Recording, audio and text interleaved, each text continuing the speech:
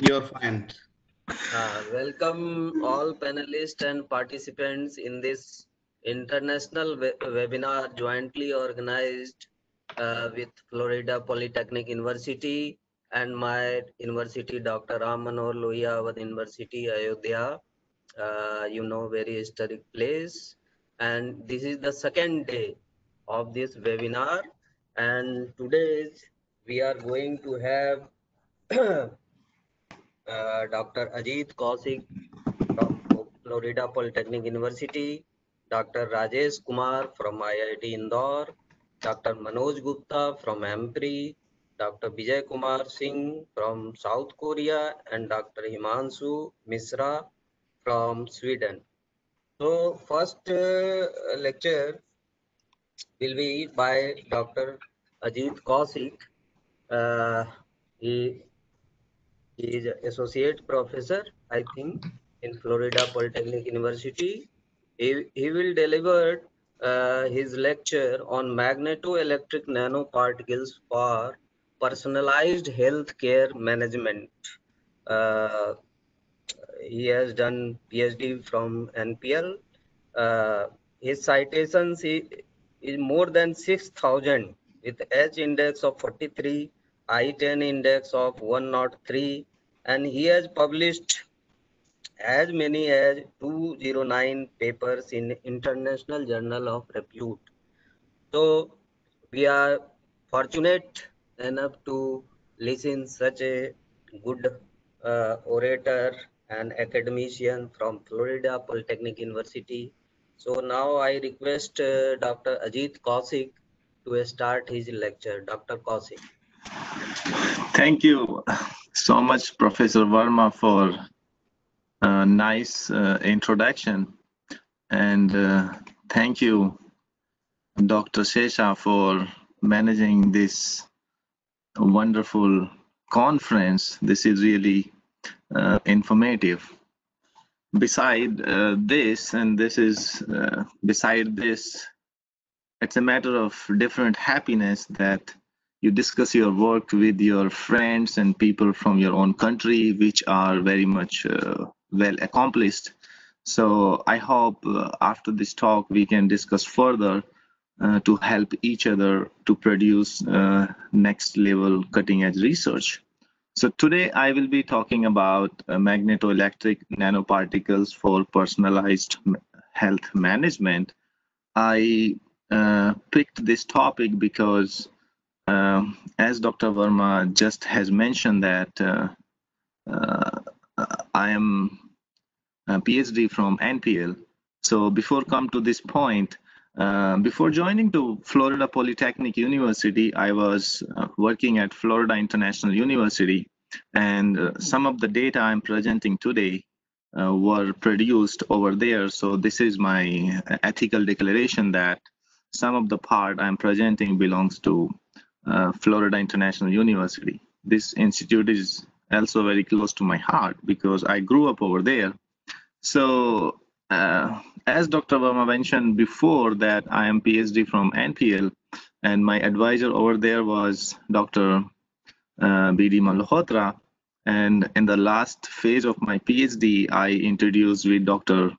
Uh, Anchal Srivastav. He, he really influenced me a lot about his knowledge in material science and he was very helpful at some point.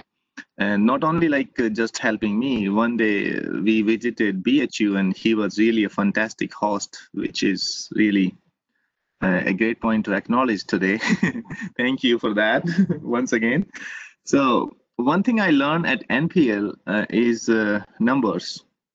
If any product in the world is not up to the mark then it has no value so uh, having this thing in mind, whatever I did in my research so far, I try to accomplish that number game which has value somewhere, this way or that way, that influence state of the art or that can do something productive considering future research and future development.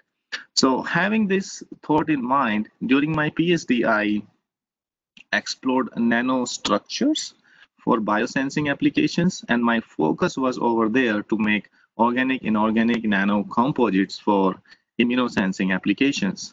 So why did I select this topic? There's a perfect rationale behind this because I was um, I was trying to explore a system that overcome the problem of a polymer at the same time that also overcomes the problem of metal oxide. So we can mix together and it was very simple for me the kind of category I picked to make immunosensor that was very uh, cost effective and uh, performance was really appreciated.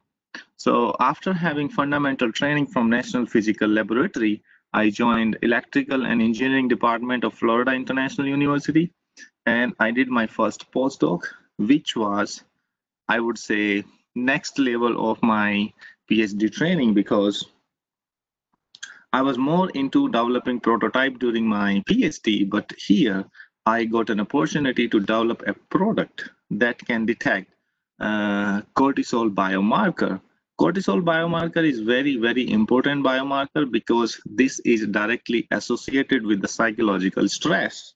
And this has turned out that stress indirectly associated with a lot of diseases. And if we cannot control the stress of a patient, so many good drugs cannot be suggested to the patients. So in the pain management, this emerged that we have to calculate the level of stress of a patient.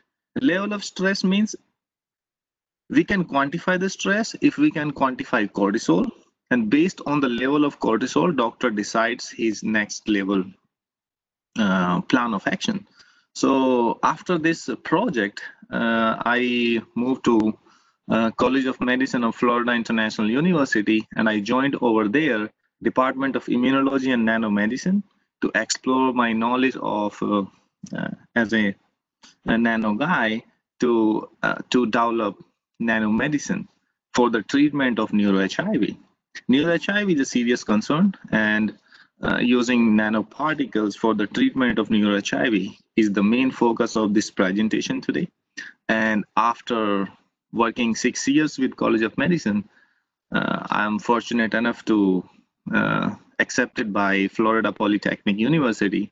So at Florida Polytechnic University, my research focus is early stage rapid disease diagnostics and we are also more, we are also trying to develop smart systems which are miniaturized and can be useful to monitor a disease because some of the diseases which does not have treatment such kind of diseases need continuous monitoring because of the so that based on the pattern, a best therapy can be prescribed by a physician. And nano-enabled therapy, therapeutics is also my focus because we have a lot of drug in the we have a lot of drugs which are approved by FDA. These drugs are very effective, but sometimes the amount of drug we are inhaling, we are, we are taking inside the body is not required. But we need more amount because of the, the delivery aspects. Sometimes we don't get enough drug at the disease location, but to have enough drug, we consume extra drug. Because of that, we are having excess of drug in the body, and sometimes these drugs are toxic. So to balance that component, we use nano systems so that we have enough drug at targeted site with more efficacy without side effect. So this is also the focus of my research nowadays. And directions of research, I can summarize like that. For both the work, I'm exploring nanosystems for disease diagnostics. And the focus is to make sensitive sensors which can, which can be useful for the diagnostics of a disease at very early stage. And due to portability and uh, uh, good packaging, they can be used for point of care applications because if we consider the case of infectious diseases like Zika, Ebola, nowadays coronavirus, they are not like uh, uh, good area-based diseases. They can be any, to anybody, anywhere in the world, any region, maybe in a village, remote areas. So we need system that can perform diagnostics wherever we need and because of the use of fantastic electronics, and nowadays a new component is emerging, which is artificial intelligence and Internet of Things, means we can analyze data artificially very perfectly without using a lot of human-based uh, analysis. Besides, a wireless-based approach is, well, is also very important nowadays. So if we integrate this point of care system with artificial intelligence and IoT, means we can do, we can perform diagnostics the way it should be. And at the same time, we can, we can produce enough bioinformatics based on this bioinformatics analysis, which is like the part of big data analytics, can be useful to do a lot of good things. And all these things can happen in a personalized manner. because if I have diabetes and my mother, uh, for example, it's not necessary that our pattern of diabetic is similar. Can be different because it, depends on a lot of genomic variations and two people are always have genomic variabilities. So in future, based on uh, rapid diagnostics, artificial intelligence, and IoT, all big data analytics should be personalized oriented and the two patient may be the part of same family may be suffering from the same diseases may have different treatment. So i am i am believing that this is the future of diagnostics. So this is one side. Second is uh, we are uh, we are in process to optimize different methodologies where we can send a drug to the brain and for the treatment of or for the management of HIV virus in the brain and if we have an optimized technology and we are capable to send a drug to the brain then not only the HIV we can control a lot of CNS related diseases like Alzheimer Parkinson, brain tumor, stroke. It's it's it has a lot of lot of potentials. So why did I select magnetic nanomedicines and why did I select magnet magnetically guided delivery? It has a very perfect rationale and hypothesis that I will cover in my talk. So whatever I said so far, these ideas, related challenges, and um, and prospects are summarized in these four books. So if you need i can don't buy because money goes to publisher i can send you personal copy so first thing i wanna though my topic today is based on um, nanomedicine but i just wanna have one or two slides based on uh, my work in the area of sensors so that uh, just have a little bit more delivery to the audience. So first uh, part of the talk is biosensors and we know that biosensor any sensor not only biosensor is an analytical device that convert any response to a measurable signal so that measurable signal can be controlled analyzed by various transducers and we can have a very nice um, uh, uh, device according to the patient requirement or clinic's requirement so the art to make a biosensor is always have a lot of components. And as I said that based on signal, we can select an appropriate transducers that is the part of different electronics or different um, smart nano component units. Based on that, we can make sensor very small, but the adaptability of the sensor is depends on its performance and its performance, for example, selectivity, wide detection range, or low detection limit, always a game of selection of a material, which is always uh, on top of a substrate, and that material should be selected very smartly. So a material cannot be universal. I never seen any material that which is good for a lot of making various kind of sensors various kind of sensors means categorization of sensor is always based on the selected bioactive compounds. If we are talking about antibodies they are immunosensor. If you are talking about enzyme they are enzymatic biosensor or catalytic biosensor.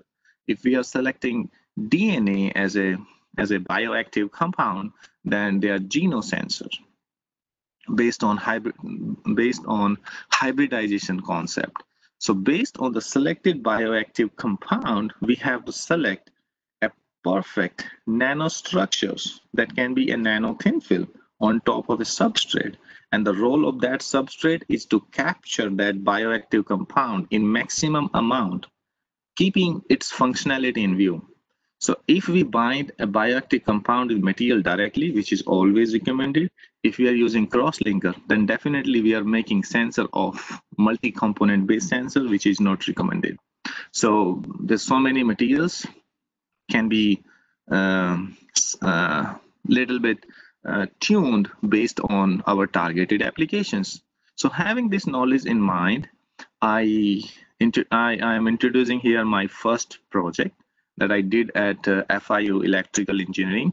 So based on a lot of hit and trials, we wanted to make a sensor that can detect cortisol at very low level why cortisol? As I mentioned before, this is the psychological stress biomarker. If we can quantify cortisol, we can quantify the stress, and which is a part of a lot of pain related management, especially when we are talking about neurological, neuro related diseases like HIV, uh, Parkinson, Alzheimer, brain cancer, or any that any disease that can cause depression so this is one side.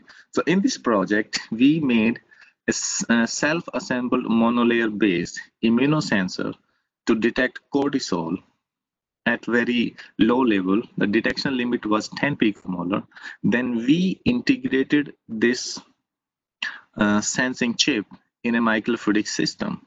This microfluidic system is very small, like the size of a quarter, like half inch by half inch, and it was connected by microfluidic system. So it was automated sampling to detect cortisol.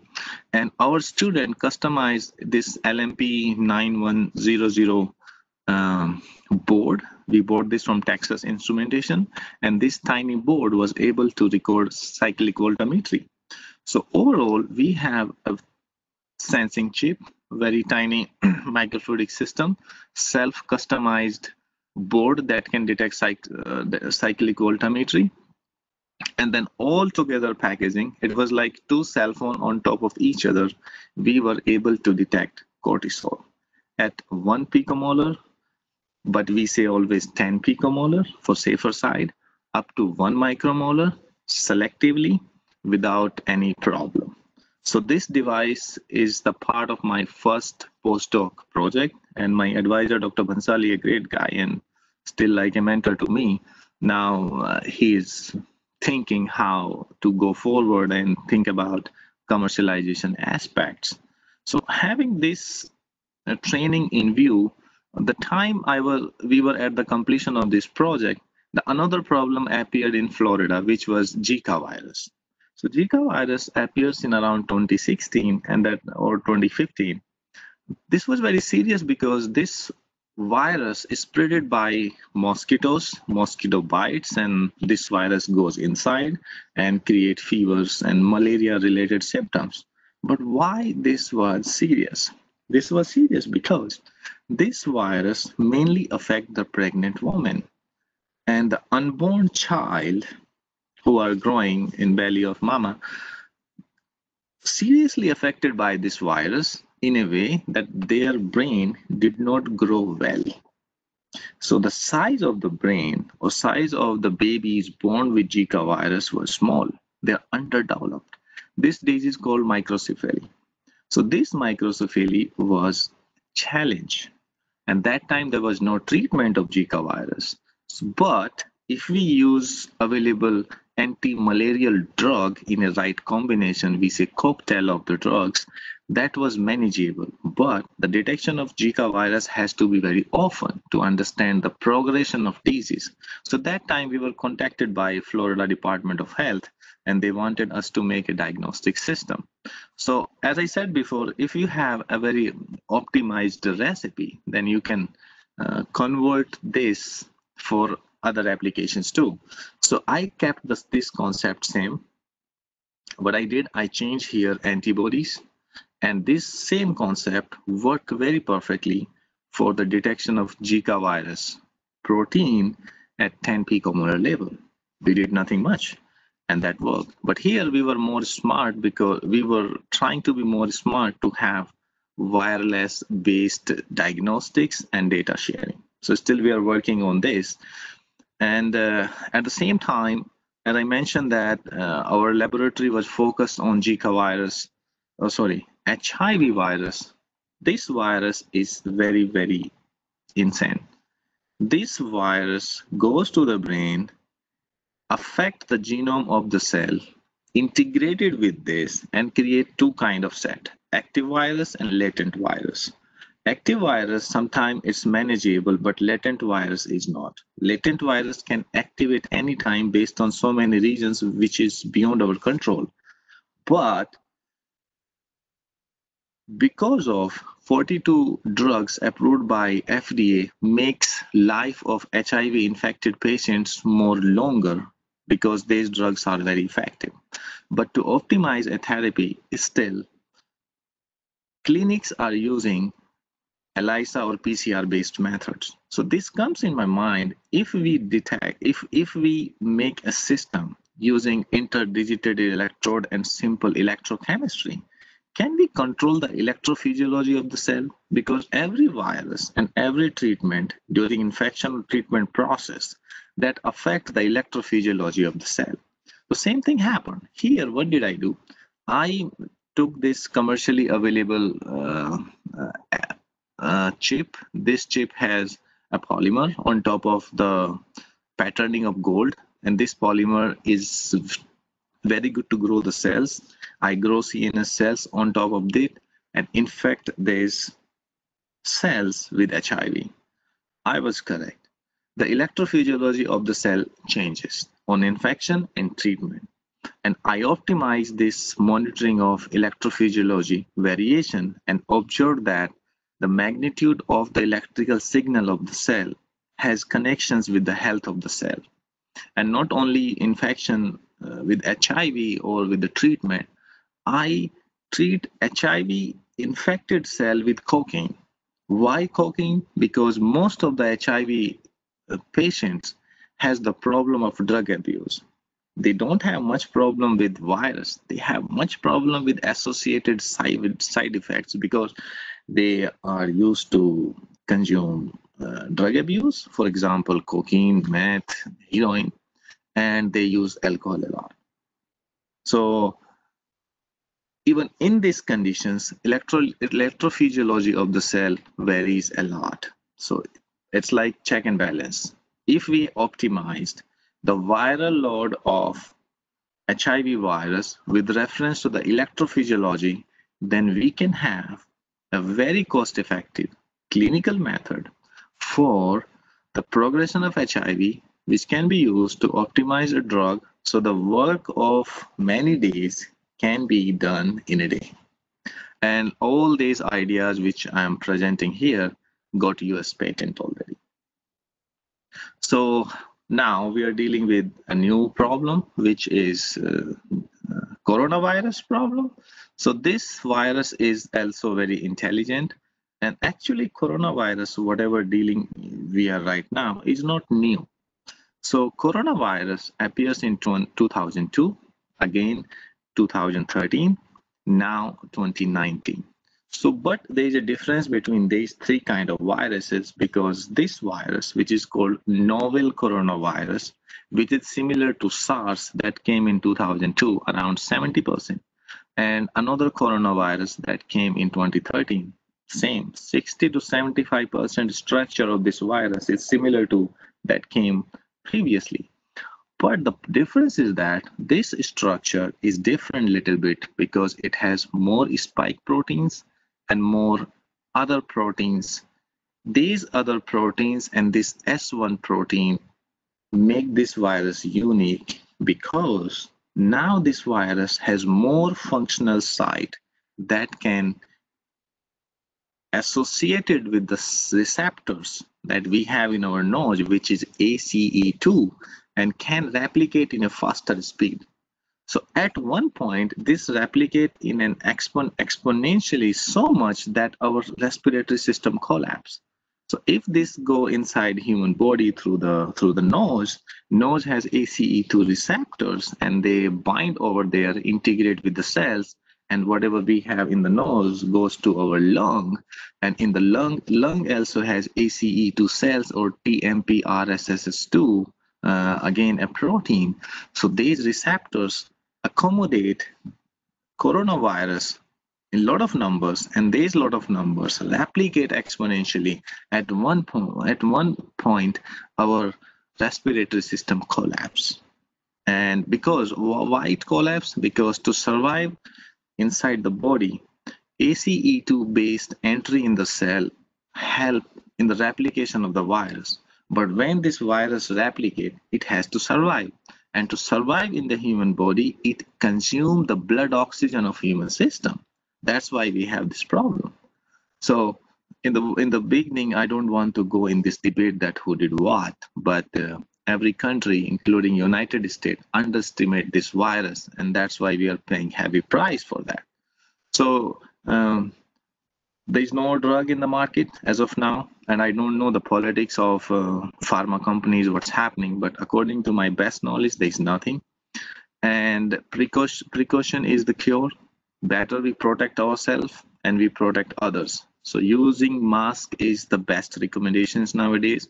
And this paper came i think two weeks ago in science that confirm using a mask is a good idea. And no ex no need of expensive mask according to my knowledge even a sim simple mask made at home using cotton cloth would work but try to see that the cotton cloth sometimes has bigger pores so you can have two layers so that you have less chances of inhale air present around you. So what's our role here? As we have developed a chip for the detection of Zika virus protein we wanted to use same strategy to make a make an electrochemical immunosensor for the detection of coronavirus protein with reference to S1 antibodies. And as I mentioned before, our objective not only to make a chip that can detect uh, coronavirus protein, we wanted to introduce artificial intelligence and at the same time Internet of Things. So this kind of interfacing will allows to perform diagnostics at point of care.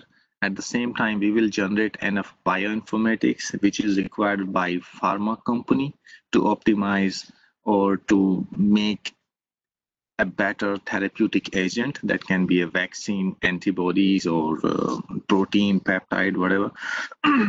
and wearable sensing is always advantageous for so many reasons. So this is one part of my talk, which is on biosensors. And now I would like to jump to the main topic of my talk is nanomedicine. So as I mentioned before, our lab uh, at FIU in uh, medical college is focused on optimization of a therapy which can treat HIV in the brain. So uh, briefly again, HIV virus is again a very i think every virus is very smart. So this hiv virus is very smart. This can infect this infects our system get into in bloodstream and goes to the brain. It crosses the blood brain barrier. Blood brain barrier is a barrier created by the four types of brain cells and it makes a very compact layer under under the brain and this barrier is very important for every kind of biological functions in our human system. So this barrier only allow pass through the good agent, not the bad agents. But sometimes things happen. So this virus crosses the blood-brain barrier, integrate with the CNS cells, mainly astrocyte or microglia. Uh, neurons uh, I doubt, but people claim that it affects neurons too. But anyway, CNS uh, astrocyte and microglia is the major portion of CNS system. So it's uh, something to worry about. So at the same time, when it goes to the brain, integrate with the brain cells, it infect cells and virus replicates over there. So now there are two cases. One is active virus, virus is replicating. Another class is latent virus. So this virus is smartly integrate with the genome of brain cells and do not replicate virus. So this is in the brain, but it's not producing the virus. So if it's there and this can activate any time in future based on lot of stimulations or body variations, again this virus come to the periphery and infect our system. So anyway, neuro HIV cases in the world are around 10% roughly, maybe less, but this number is a lot. And all the FDA approved drugs are very good. They can eradicate HIV virus effectively. Even not only the FDA approved anti-HIV drug, there's so many latent virus activating agent which are also approved by FDA. So because of these combinations, the HIV patients nowadays has a quality life compared to past. And these advancements are really very impressive and there's a lot of progress, a lot of things are going on over there. So it's, it's very impressive. But now come to our point. So these FDA approved drug, anti-HIV or latent virus activating agent, do not cross the blood-brain barrier. So we are treating virus below the brain, not in the brain. So what can we do? If the drug is not going to the brain, we have to send drug to the brain. And to do so, we have to use self-generated methodologies which are safe and more effective. So more efficacy, less side effect. So here our focus is mainly on sending an anti-HIV drug to the brain that can activate the latent virus and again that can eradicate the active virus. So this is shock and kill uh, applications. So one drug has to activate virus another drug has to eradicate the virus.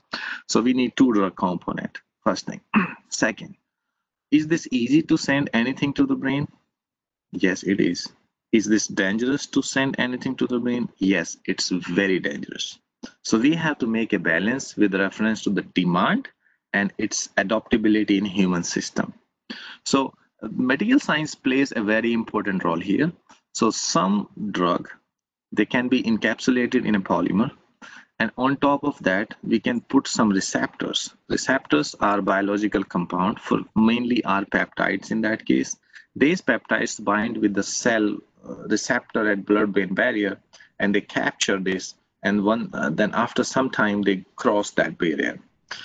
But this blood-brain barrier has pores which are in nano size around 20 to 100 nanometer.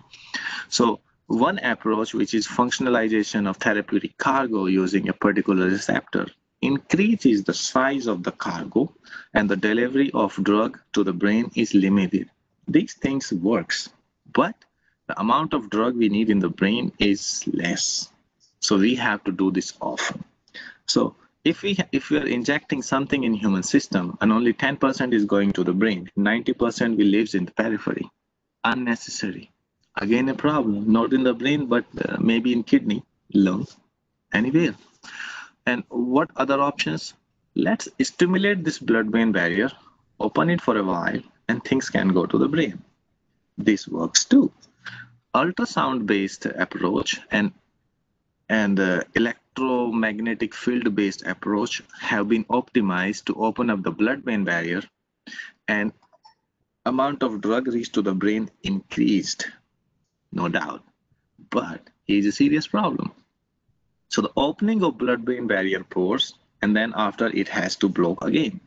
It's a time based uh, process. It's a transient method so during opening and closing, some unwanted particle also goes to the brain, and these particles or these agents known to affect the secretion of neurotransmitters or they produces neuroinflammatory agents, which is not good. So we need drug to in the brain. If we are functionalizing um, cargo with the peptide, then amount of the drug is less. If we are opening blood-brain barrier, amount is okay, but it has side effect. What left? What if we don't functionalize the cargo? What if we don't uh, open the blood-brain barrier? What if we pull some medicine to the brain without functionalization or without opening the blood-brain barrier. How this looks like. We stick with this idea and we in India, we all know that um, magnet always attracts iron. So we use the same very simple approach.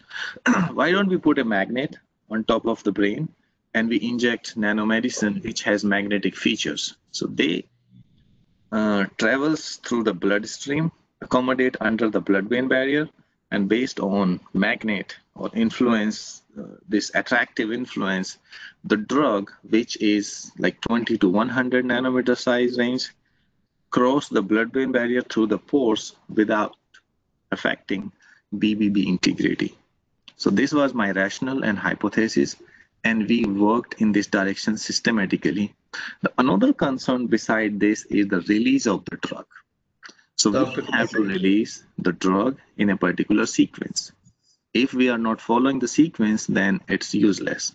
The first virus activating drug should come into the system, and then after some time, virus eradicating agents. So sequence of the drug is very important. And at the same time, right now we are talking about two drugs. So we use the same concept. Dr. Kaushik, Yes, sir. uh, can you wrap up in three minutes? Sure. So we use the same concept in uh, uh, using simple iron oxide nanoparticles, and we make a, a cargo which eradicate first virus activating agent and then virus eradicating agents. Results were fantastic, but we do not have control on the amount of drug release because if we can control the amount of drug release, then it's more useful. Because sometimes drug is releasing here in, in a good manner, the way we need, but we cannot control the amount of the drug because excessive drug also cause neurological problem. So let's go forward. We, as I said, we replaced iron oxide with magnetoelectric nanoparticles. Why magnetoelectric nanoparticles? Because these are core shell nanoparticles. And here we have core of core, uh, cobalt ferrite and shell of barium titanium oxide piezoelectric materials. So this core cell system is very much sensitive to AC magnetic field stimulations. Once we apply AC magnetic field stimulations, there is a change of polarization at the surface. And due to this change of polarization in the surface, the drug bind with the nanoparticles um, uh, released after some time because we have uh, electrostatic interactions between drug and nanoparticles. And we applied AC magnetic stimulation using pulse to pulse uh, feature. Because of that, one side of the bond expand, one side of the bond compress. So this expansion and compression happen repeatedly within second, and at some point, this bond break down. So we are having this concept in mind, and we were successful. So what did we do? We synthesized magnetoelectric nanoparticles, perfect as we need, and then we check the toxicity because we have to optimize the amount, how much amount of nanoparticle is safe. So 50 microgram of MENP is better for these applications. So uh, before I was talking about two drugs, shock and kill. Recently, we got collaborated with Dr. Khalili in Temple University, and he investigated a gene that eradicate the virus, that recognize the virus and eradicate it at the same time. So rather than two drugs, we found one component, which is a DNA, very good, US patented, paper in nature, and he gave this to us. We bind this uh, Cas9 with our nanoparticles, applied AC magnetic field stimulation, and this releases from the surface, and this is binding profile and release profile. So we came to know that at 60 Oerstед for 30 minutes, we can release this Cas9 perfectly. This is more characterization showing the binding and release. And this is the experimental setup that was used to release the drug from nanoparticles. And this is functional efficacy. Even we, in fact, we observed that the drug released from the nanoparticles is more effective than the pure drug. Why this is happening? And because, because the nanoparticles, which is under stimulation at the surface of the cell, create poration. And this poration we uh, believed on the basis that this piezo, this magnetoelectric nanoparticle on AC magnetic field stimulation not only produces the electric field, they are known to produce acoustics too. And if this acoustic mechanism is happening at the membrane of the cell, then phospholipid layer of the cell membrane breaks. Simple inspiration. And we stick with this concept and prove the presence of cell inside the nanoparticles using FIB assisted TEM approach. And not only showing this by TEM, we simulated this. So whatever we said so far, it's simulated as so. So this nanoparticle, piezoelectric, nano, this magnetoelectric nanoparticle is, stimuli responsive with reference to AC magnetic field. It produces electric field at the surface, changes polarization, and produce acoustics too. It binds with um, Cas9 released in controlled manner. If we are controlling the release, then it's a personalized approach. But the challenges begin with that. Can we inject this to the mice? Can this go? Can this go to the brain in living being? Yes, sir. We optimize that. Sorry. We injected this nanoparticle in the tail of mice, and we put this mice under this uh, simple magnetic environment, and this magnet pulls nanoparticles to the brain. And we can see the distribution of nanoparticles in the all cell types without significant agglomeration. So data of TEM validated by STEM, and we also concluded that the particle inside the tissue has the same crystalline uh, features, one which were in original nanoparticles. And at the same time, the safety aspects of nanoparticles are very important. So we did histology and neurobehavior assessment. We did not find any side effect of these nanoparticles. So this is something relating to the small animals, but we are talking about human compatible uh, technology. So we have to optimize this in big animals. So we go further and injected this in a baboon. It's a 13 kilo baboon. Uh, no, yes, and it's uh, aged and we observed that using MRI as a source of magnet, this pull nanoparticles to the brain and pre and post image analysis confirmed that nanoparticles are distributed in the brain, which is uh, really good news for us. But this is very important for us to check that baboon is human type um. Can, uh, can you come to conclusion, please? Its conclusion. Yeah, thank you. So, so we have to check the biopsy. We checked biopsy. We did blood toxicity profiling. We did, we explore material tissue-based interface using Raman spectroscopy and Raman microscopy and concluded that this is safe. And in future, we are willing to optimize this method for the treatment of uh, coronavirus infected patient because this virus is going to stay in body for a long time. If we have a vaccine or drug, what about the delivery of these drugs to the target? Because coronavirus is not, not only affecting the lung, it's affecting kidney, heart, liver, and brain. So in future, we are working in this direction to make a therapeutic cargo, organ specific, and try to figure out how we can eradicate coronavirus using nanomedicine approach. And thank you, a lot of people here to acknowledge and grateful to my previous lab, present lab, collaborators, and, and Florida Poly, Dr. Hickman, Dr. Shesha, Scott, Antonio, our team here. Thank you very much. Sorry for taking being long. I lost time track. Thank you, Dr. Kaushik, for nice presentation. Today's second uh, speaker is Dr. Rajesh Kumar from IIT Indore. He did his MSc PhD from IIT Delhi. Uh, he worked as postdoctoral fellow, National Institute of Nanotechnology, University of Alberta, Canada and uh, his research interest uh, uh, is experimental solid state physics, organic and inorganic semiconductors, nanostructures, Raman and PLS spectroscopy, lasers, devices physics. His uh, citations uh, are more than 1000 with H index of 18, I10 index of 43, and he has published as many as 129 papers in International Journal of uh, Repute. So now I request Dr. Rajesh Kumar to start his lecture.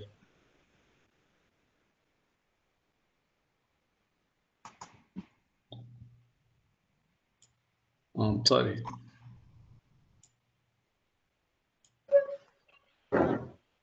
Okay. Uh, thank you, Professor uh, uh, Verma and uh, Professor Sesha and the whole organization, organizing team for giving this opportunity to talk about uh, my work and interact with other panelists here. So, when it was about when I was about to decide about this topic, whether I should talk about the work that I'm doing. So I chose this Raman effect thing uh, because of two reasons. One, it is because it is very close to my heart. And second is uh, when I saw the panelists, I thought it will give me a very good opportunity to interact with uh, many veterans from BHU and other universities. And it will also give me an opportunity to learn uh, learn Raman effect. And uh, I start with uh, with one uh, punchline from Steel Authority of India Limited, SAIL. The punchline from SAIL is that SAIL is in everybody's life. That, I translate that to Raman effect is at the same in the in the field of science and technology and research and material science it is not an exaggeration to say that there is a little bit of Raman spectroscopy in every material scientist and biological scientist and even engineers uh, in the field. So this is very relevant and uh, very and after the discovery of lasers and uh, invention of lasers, now it, has uh, now it's a very uh, important aspect in everybody's uh, life, especially the the scientists from material science and as my lab uh, uh, i'll come to this. My lab is materials and devices lab. In short we call it mat lab. And this is a little bit uh, advertisement about IIT Indore. It's a young young institution, only 10 years old, and some rankings. And this photograph is from uh, from sky from aeroplane of the of the campus of our half-built campus, which is now fully complete. And yes, we at Indore are proud of being from the cleanest city of India, which actually is. And this these photographs is from the IIT Indore uh, campus, clicked on a simple mobile phone. So campus is also also very beautiful. And now I'll talk. Uh, this this is the outline of my my presentation. I'll certainly would like to skip some of the very basic introductory slides, which deals with the what what exactly is the Raman effect, and then how from the solid uh, the Raman effect and how Raman spectroscopy helps understanding so many things from a, from a material, especially nanomaterials, by means of uh, quantum confinement effect and Fano effect or uh, electron phonon uh, interaction, Fano scattering, and this beyond. Beyond uh, covers this uh, Raman microscopy, which I would take equal time in explaining that using Raman microscopy, what are the things that we are uh, we are exploring. This is mainly my group uh, of uh, consisting of PhD, mainly PhDs and MScs. There are three new PhDs uh, who have uh, joined. I've just started uh, working, and mainly I will discuss results from Devesh, Anjali, and uh, Manushri. And this is one of my favorite slides where I take opportunity to thank all my uh, students who helped me doing whatever I wish to do using materials and uh, and and, and uh, Raman. yes, we were in news also for developing this uh, electrochromic device which sort of filters the heat component from the normal visible component. Now let us see what the Raman effect is. Uh, I would uh, uh, request uh, the seniors to just bear for some time to because I, it will be a bit trivial for, uh, for, for for most of you. At Raman effect, we are proud to say the, this uh, about we talk about this effect, which is an inelastic scattering of uh, photons, and a very weak effect which Sir C.V. Raman could uh, discover, and I was awarded uh, Nobel Prize and uh, this is published in an Indian Journal of Physics, followed by Nature. And yes, we we celebrate it using Google Doodle and stamps and all this. So let us see. For this will be a couple of slides just to get give an overview of what exactly is the Raman effect. The Raman effect is a scattering that uh, when a light falls on a molecule and then it scatters. In the scattered radiation, the the if, if we analyze the scattered radiation, then what we see is the scattered radiation mainly consists of uh, the same frequency which the molecule or the material was excited with.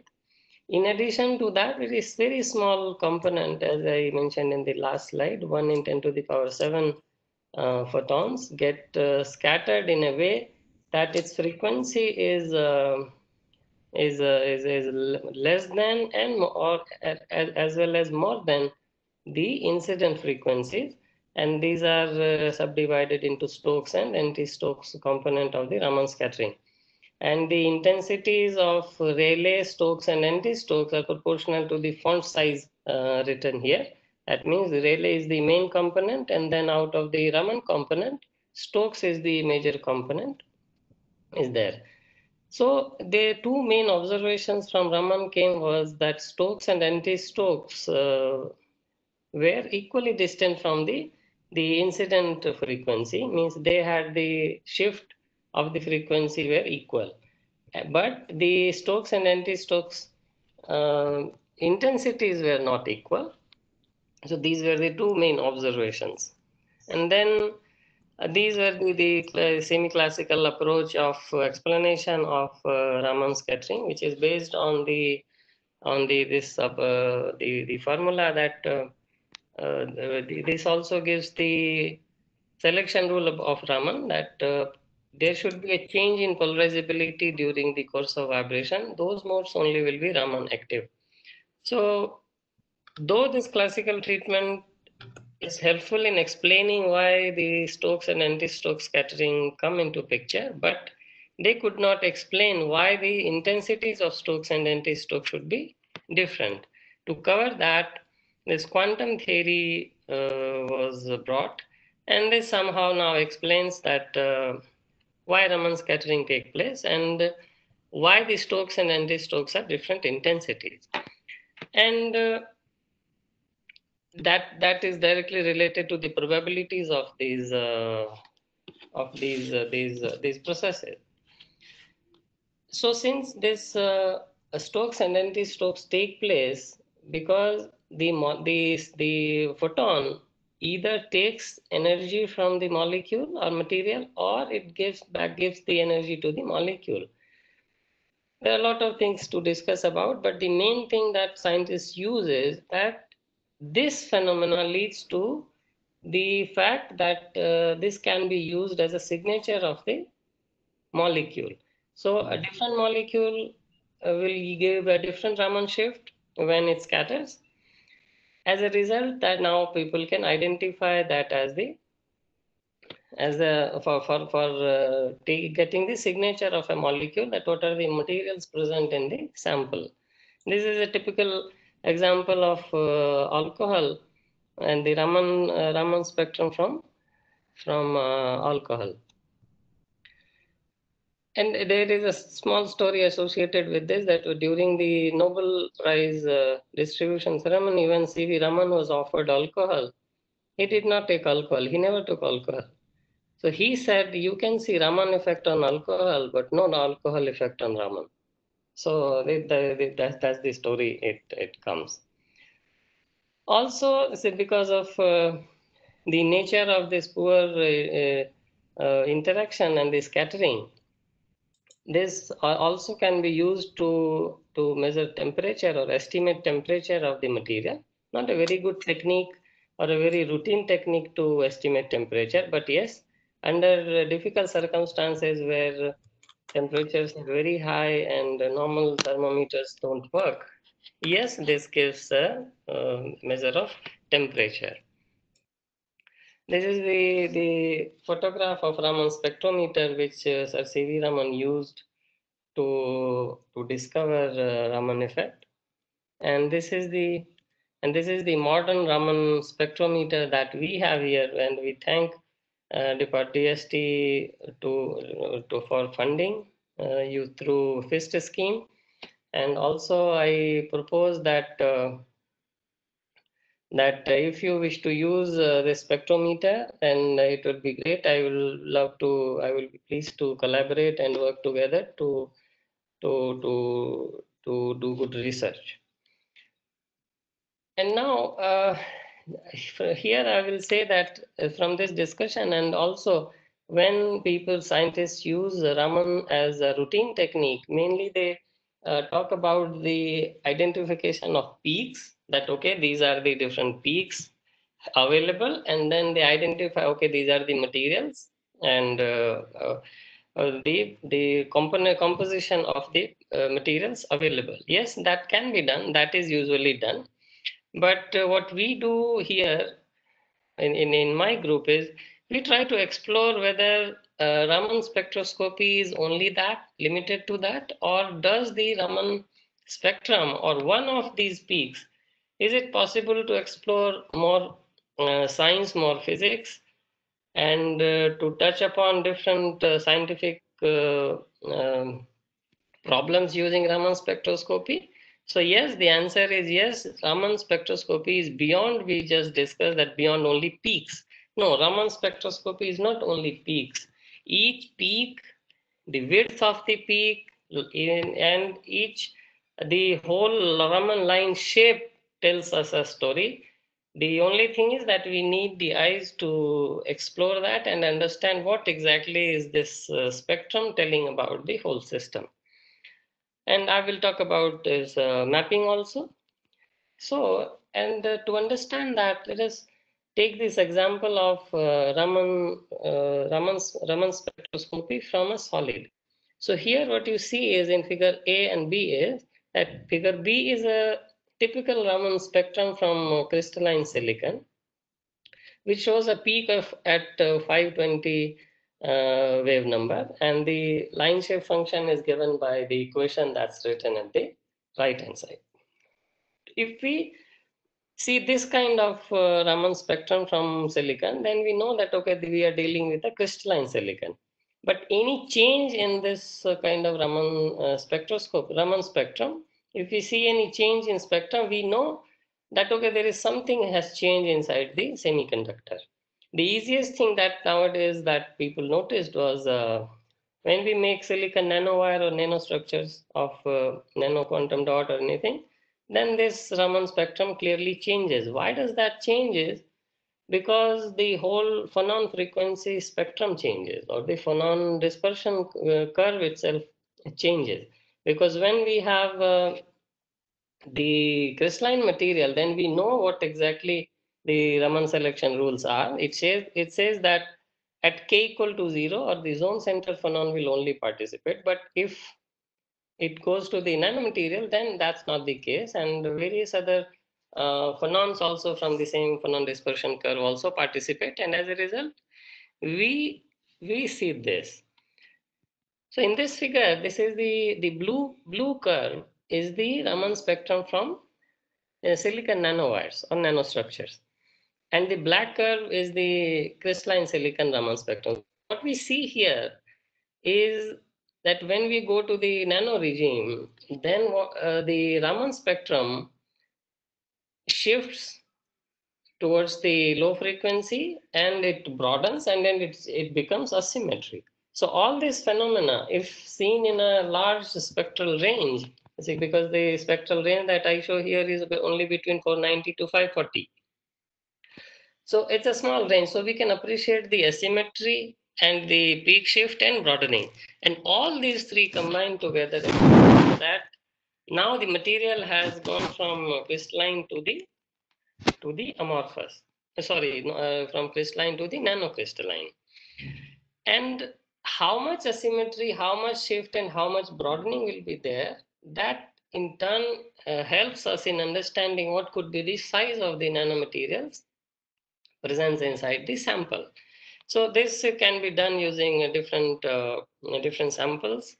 And uh, this first paper, uh, this is a small uh, journal, Silicon from Springer, but it has got very good citations in last four five years.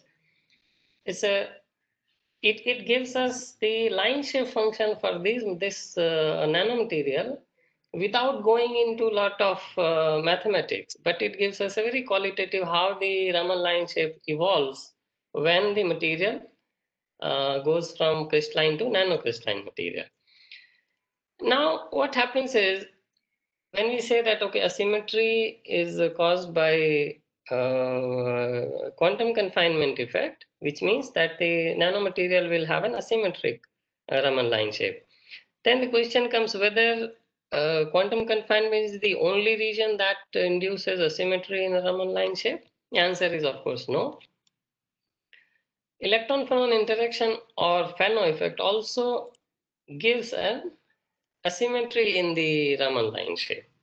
So now this is the thing becomes a bit complicated that, okay, if there is an asymmetry, then how to know whether uh, it has been induced by quantum confinement effect or it is induced by the uh, Fano effect or electron phonon interaction.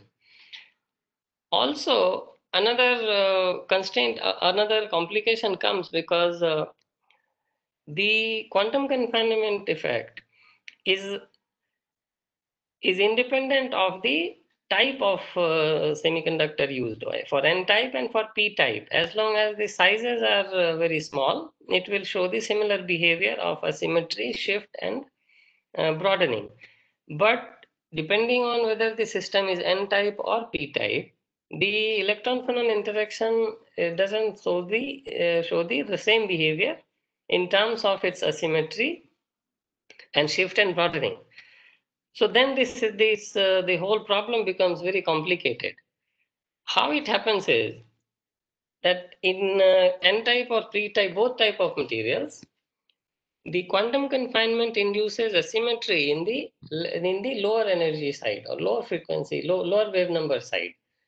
But if the same system has electron phonon interaction also, then in the n-type system, it increases the asymmetry towards the lower energy side. But if the system is p-type, then the asymmetry induced by the electron phonon interaction shows asymmetry in the right hand side or the higher energy side.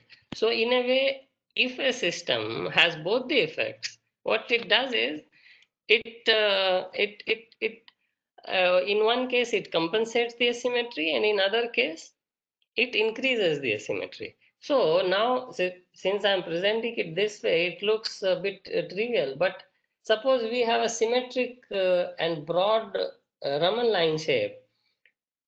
It looks very innocent looking uh, Raman line shape, but and we can say that okay there is some temperature increase or some stress or something but if we look very closely it means that if this is the blue curve, if you see in the left-hand side bottom part, that it looks symmetric and broad, broad, but it contains both the effects. It so happens that the asymmetry induced by the quantum confinement effect, which is in the low energy side, is compensated by the is compensated by the asymmetry induced by the uh, electron phonon interaction in the higher energy side. So at the particular, uh, uh, if you con convolute it, convolute it, then you will be able to appreciate that okay, this had the had both the okay, So it is like this. So then simply only looking at the asymmet the asymmetry of the Raman line shape and broadening, it is not very appreciable. So we need to do some more uh, closer analysis, which in this figure, the inset shows this uh, arrow and it shows instead of only a peak, it also shows a dip, which is also which is known as the anti-resonance dip. So an asymmetry and broadening and an anti-resonance dip it says that uh, it doesn't not only contains uh, it not only contains uh, uh, quantum confinement effect but also the electron phonon interaction so this one here this uh, picture is very clear that if we do the same experiment for p-type and n-type uh, nanomaterial then this these the red and blue spectrum both has uh, both the effects. The uh, electron phonon interaction also and quantum confinement also. So in the red uh, curve we can see that the still the raman spectrum is still asymmetric but in the blue one we see that the asymmetry has got compensated and in a way, it is less uh, less asymmetric and asymmetry kind of behavior. So if we see a very symmetric or a broad raman spectrum that should not be taken uh, very casually.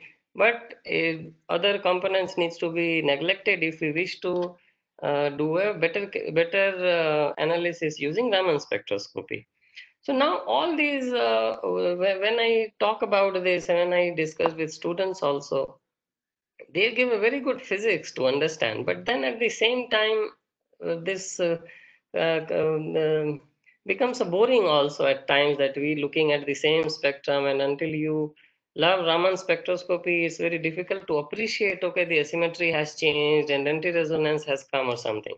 So then with these modern Raman spectrometers, this uh, Raman microscopy or Raman uh, mapping also uh, is, is, is, is there. So then what we did, so this is the same uh, sample this uh, uh, silicon nanowires prepared on silicon uh, wafer, prepared using chemical techniques. So we can see these vertically aligned silicon nanowires. And actually, these are not nanowires. These are, if you see the scale, they're in micrometers. They are some 100 nanometers uh, wide uh, wires, but actually they consist of uh, even smaller silicon nanostructures of quantum dot-like things inside those. And if we see the Raman spectrum from these, see this uh, red curve and the purple curve. So purple curve is from a p-type uh, crystalline silicon, where this asymmetry is only because of the uh, electron phonon interaction. And this uh, symmetric looking Raman spectrum is from the silicon nanostructures uh, sample. This we, I already discussed. But in these nanowires, it is we expected that okay these nanowires when we uh, if, if we see this nanowire from the edge of the uh, wafer towards the tip the the sizes present inside that need need not be the same from the the bottom of the wire to the top of the wire. So how to see that? So what we did we took raman microscopic image in the cross sectional mode and we analyzed, okay, let us see how the Raman line shape is, is, is, is doing when we move from the edge of the, so this part, the, the part of the wire which is connected to the wafer and the, the tip of the, the wire. So we scan the Raman laser from the, the to the uh, whole, whole wire and this is the Raman image, which is uh, next. This is one dimensional image of the line scan, which is the Raman shift versus the distance on the wire. So this uh, top of this wire is the because this uh, is the uh, only crystalline silicon. So whatever line shape we see that uh, is is because of the electron phonon interaction. But when we move from the wafer towards the tip of the wire, we see that the intensities in the lower uh, energy side is also increasing. And there comes a moment around 2 uh, micrometer on the y-axis in this Raman image, where the uh, intensities towards the high energy side and the low energy side is, uh, is approximately equal. So that is the point where the Raman line shape starts looking symmetric. So in a way, whatever physics quantum confinement effect and its interplay uh, I discussed is because of the the this interplay and that we act actually can see using Raman microscopy. So physics, we can see that physics. And this is the component or the constituents of the this image that was used to make that uh, image. Similarly, for N-type silicon, uh, we did this uh, microscopy and we see that the asymmetry is only changing in one direction. It is not doing like and the p-type silicon where the asymmetry was earlier in the high energy side, then it becomes symmetric and then it again becomes asymmetric with the more width in the left hand uh, or the lower energy side. So now with this physics, this gave us very a lot of confidence in using Raman microscopy as a tool. And then we, we, uh, we were discussing this problem with uh, one of my colleagues. Actually, this happened when I was uh, dean of this construction infrastructure development. And then my associate dean, he happened to be a civil engineering professor. And we were discussing that uh, is there a technique that can help us in identifying whether the two components of building material and if we mix whether it can tell whether it got mixed uh, properly or how homogeneously we can mix it. So we use this raman microscopy to analyze whether the it can tell us how homogeneously the materials have got mixed.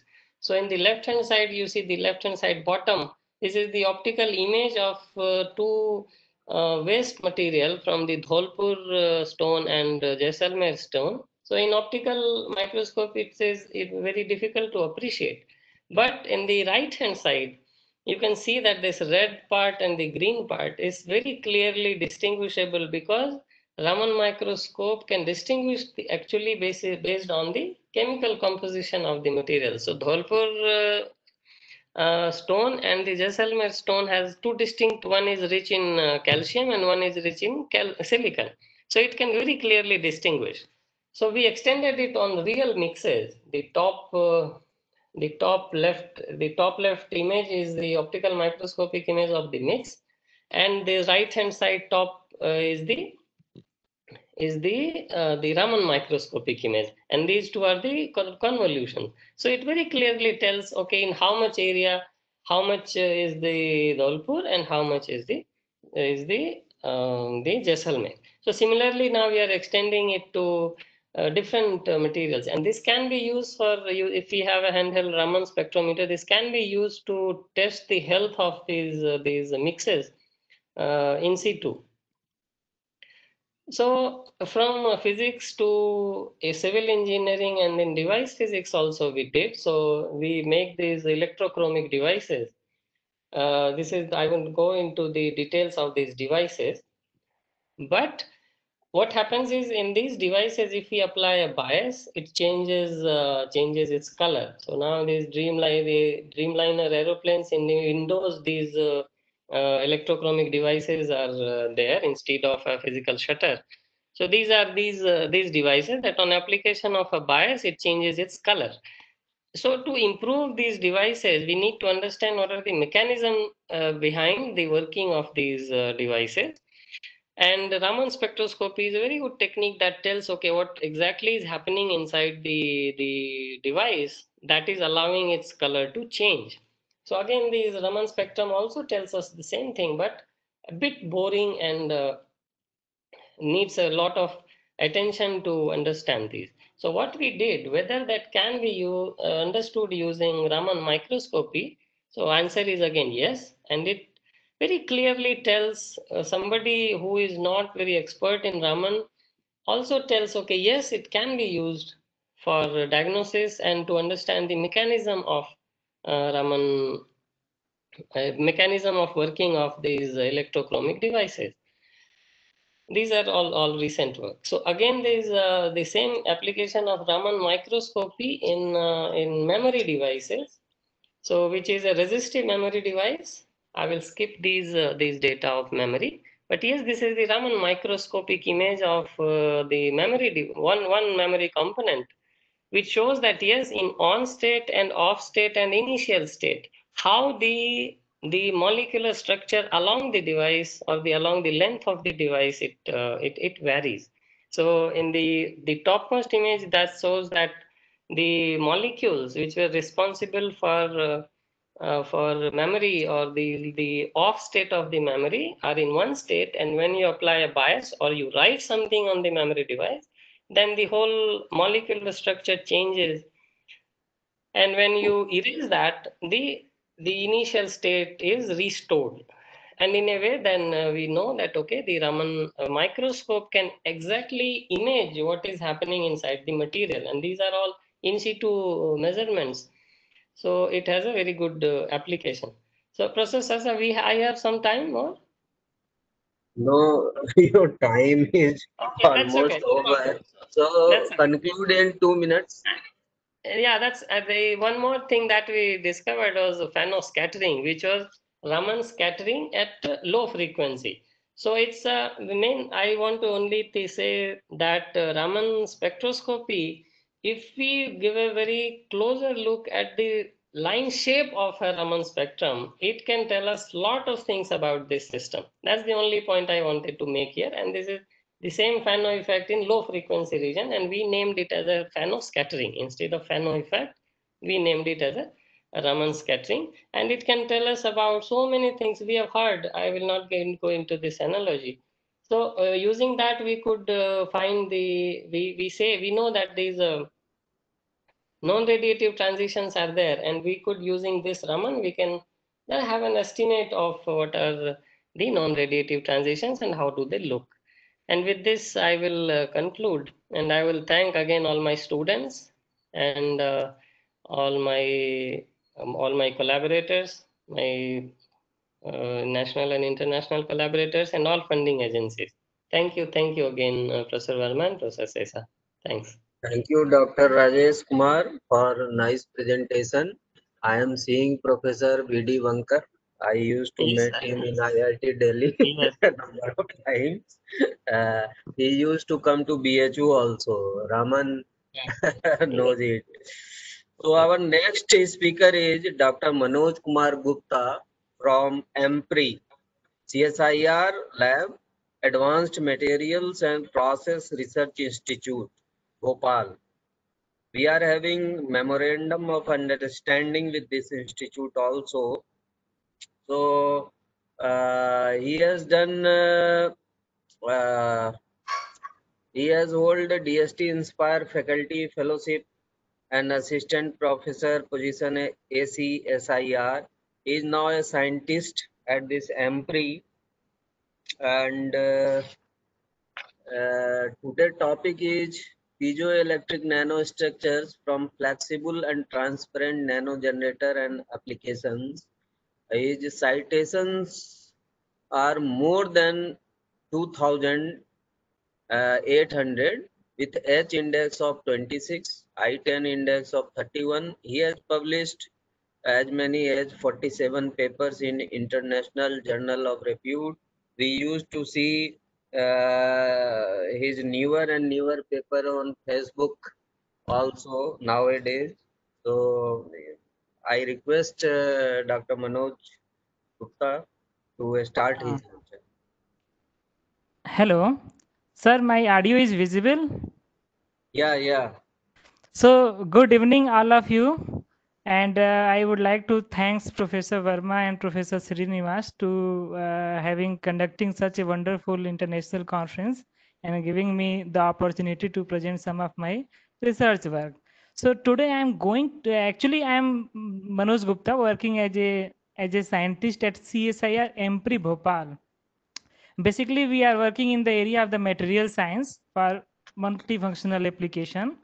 So that today uh, I will deliver the talk on the particular area of transparent, flexible and stretchable piezoelectric nano generator. And I will show how this teeny nano generator can produce a huge electrical energy.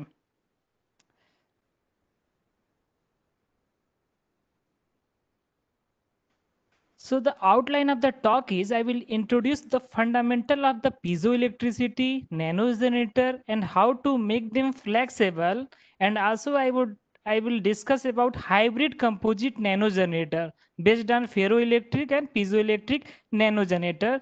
And I will also introduce a new kind of the nanogenerator that can be stretchable and while stretching it can generate electrical energy and if time permit i will also discuss something about triboelectric nanogenerator. so let us start from very basic things called piezoelectric effect we all know actually कि some material can generate electric electric potential when we apply a mechanical stress. And because of the non-center of symmetry property these material are able to generate electricity. In general we have many piezoelectric material. Let us start from SiO2 silicon dioxide zinc oxide. In zinc oxide it is a very simple structure hexagonal and uh, in zinc oxide we can just assume that key relative displacement of the zinc ion with respect to the zinc cation with respect to the oxygen and anion create electric potential along C axis which gives the piezoelectric effect. And also apart from this zinc oxide, quartz, we have many other piezoelectric material also like barium titanate, perovskite material, lithium niobate, and also some polymer called PVDF, uh, PZTR, piezoelectric and ferroelectric materials. So I will start with the zinc oxide. So what is nano generator actually? So basically nano generator is a device that can convert kinetic energy means mechanical energy or thermal energy into the electrical energy. So basically this concept is given by Professor Zhong Lin Wang in 2006. What he did, he grown the zinc oxide nanowire on a conducting substrate vertically and he applied a uh, force uh, a bias from AFM tip and he saw that once we are applying a pressure from the piezoelectric force microscopy studies through tip then negative and positive potential can be generated across the diameter of the zinc oxide nanowires or nano rod and it can it generate few nano ampere current or let us say few nano volt in magnitude. So uh, it means if we have vertical aligned zinc oxide nanorods or any other piezoelectric material, and if we have a top and bottom conducting electrode, then we can make the piezoelectric nanogenerator in real time. So basically in our daily life, we are generating we are generating so many mechanical energy and that we are going to waste it every day every day while blood flow exhalation breathing typing walking we generate mechanical energy but there is no such use of this mechanical energy. So taking this consideration to how to harvest this mechanical energy using piezoelectric nano generator whether it is possible or not. And if possible then we can we can create sufficient uh, electrical energy to power at least teeny devices like uh, light emitting diode lcd and even we can power the many uh, sensor. We can build up the self powered nano sensor or nano system. And it has also very good application as a pace as a power bank for pacemaker. Basically in the pacemaker what is happening uh, it is having a battery any kind of that battery and any patient if they have implanted a pacemaker has to go for a surgery to change the battery. That further create uh, surgical operations and uh, create problems. So if we are having an alternative of this battery that can power through even circulation of the blood and mechanical pressure that is arising from the blood flow then there is no need to go for multiple surgery to change the pacemaker and and uh, irrespective to the battery the piezoelectric nanogenerator has a longer lifetime and presently even it is having a smaller output how i however i will i have increased the output power but it can work for a longer duration and there is no need to charge this nano generator by external electrical energy. We can see this video. Even uh, see if we have a nano generator uh, devices and can be implanted it. So through the pressure of the blood flow, it can generate electricity.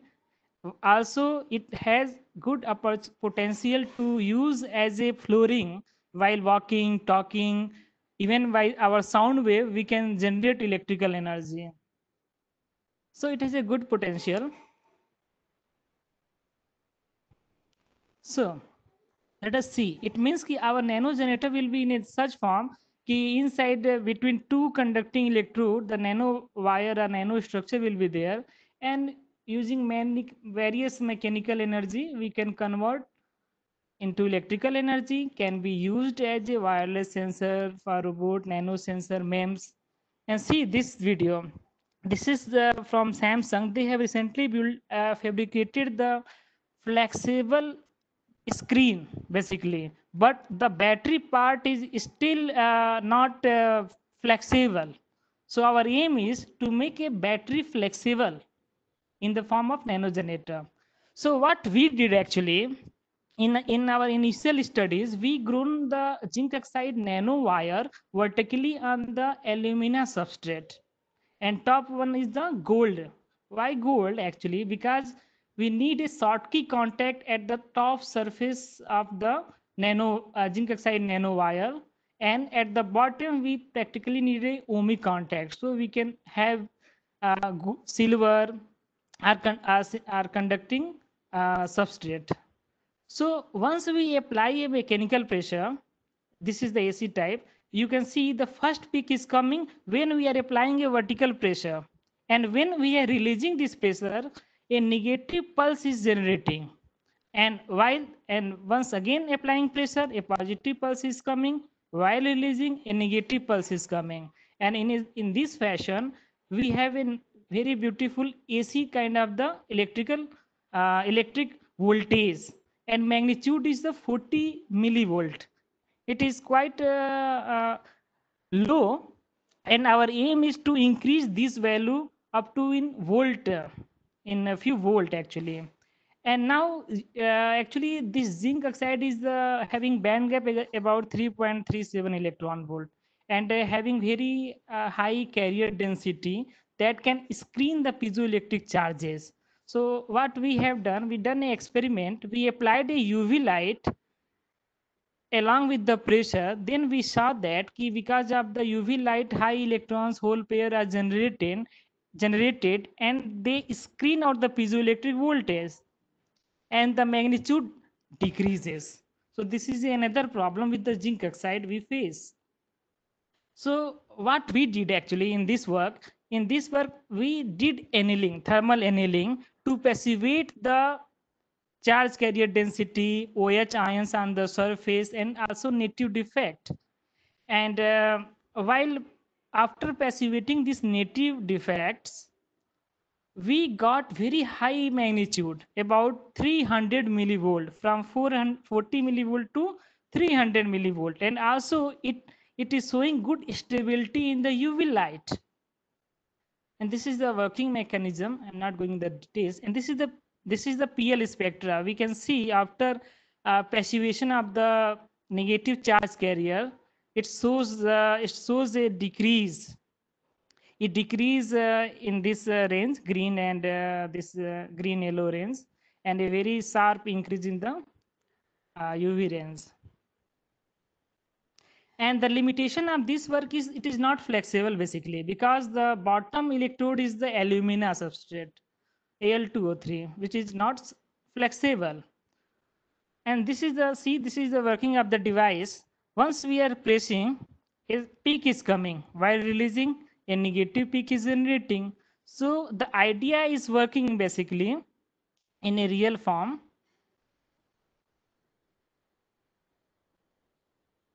Okay.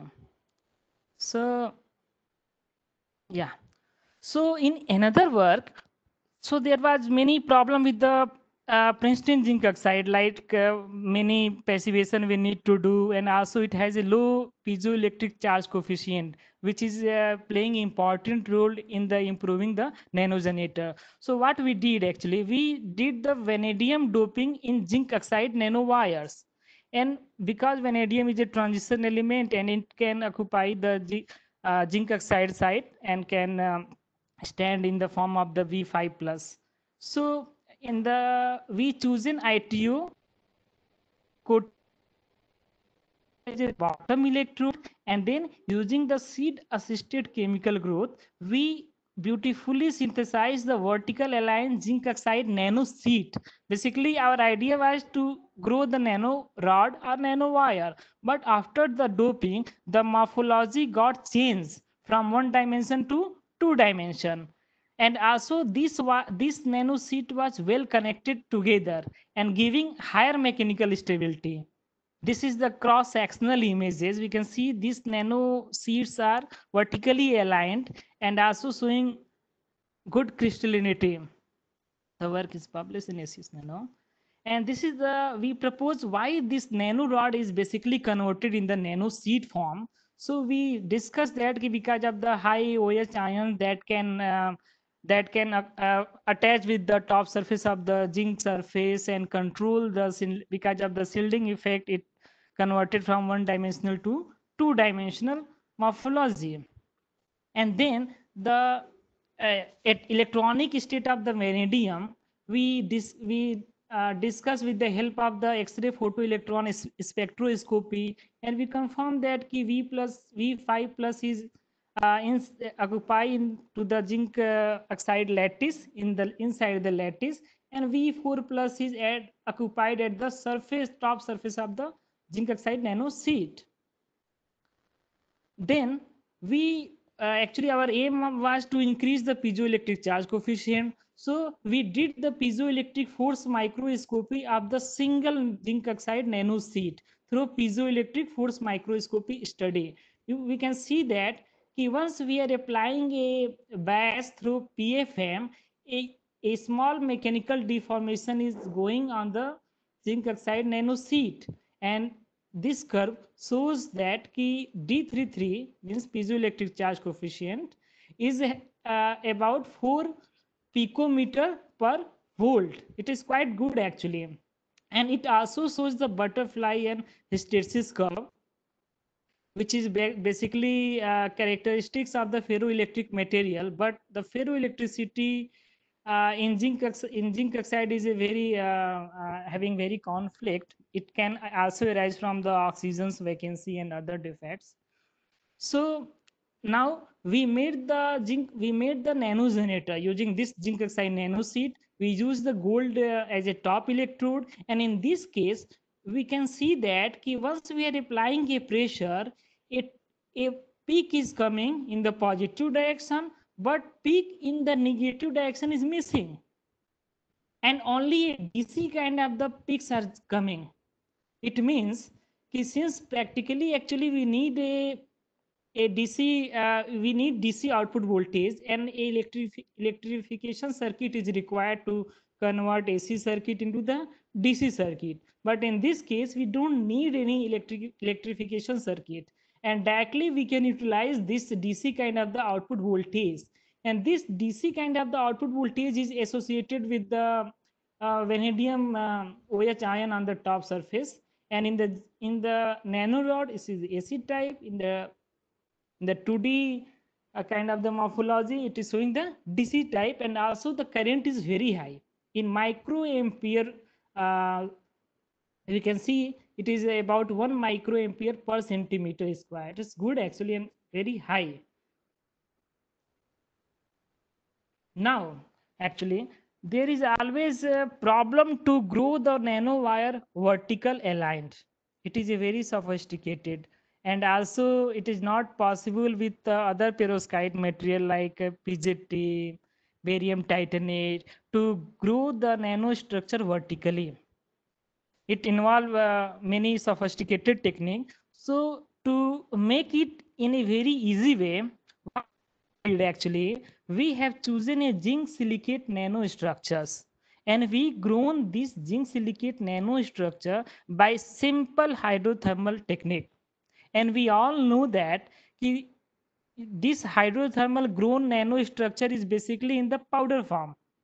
And now the challenge is how to convert this nano powder into the device form particularly for nanogenerator application so we grown these zinc oxide nanostructures and we did all the characterizations like SEM, TEM, and we can see that this is a nanorod like morphology and it is randomly oriented.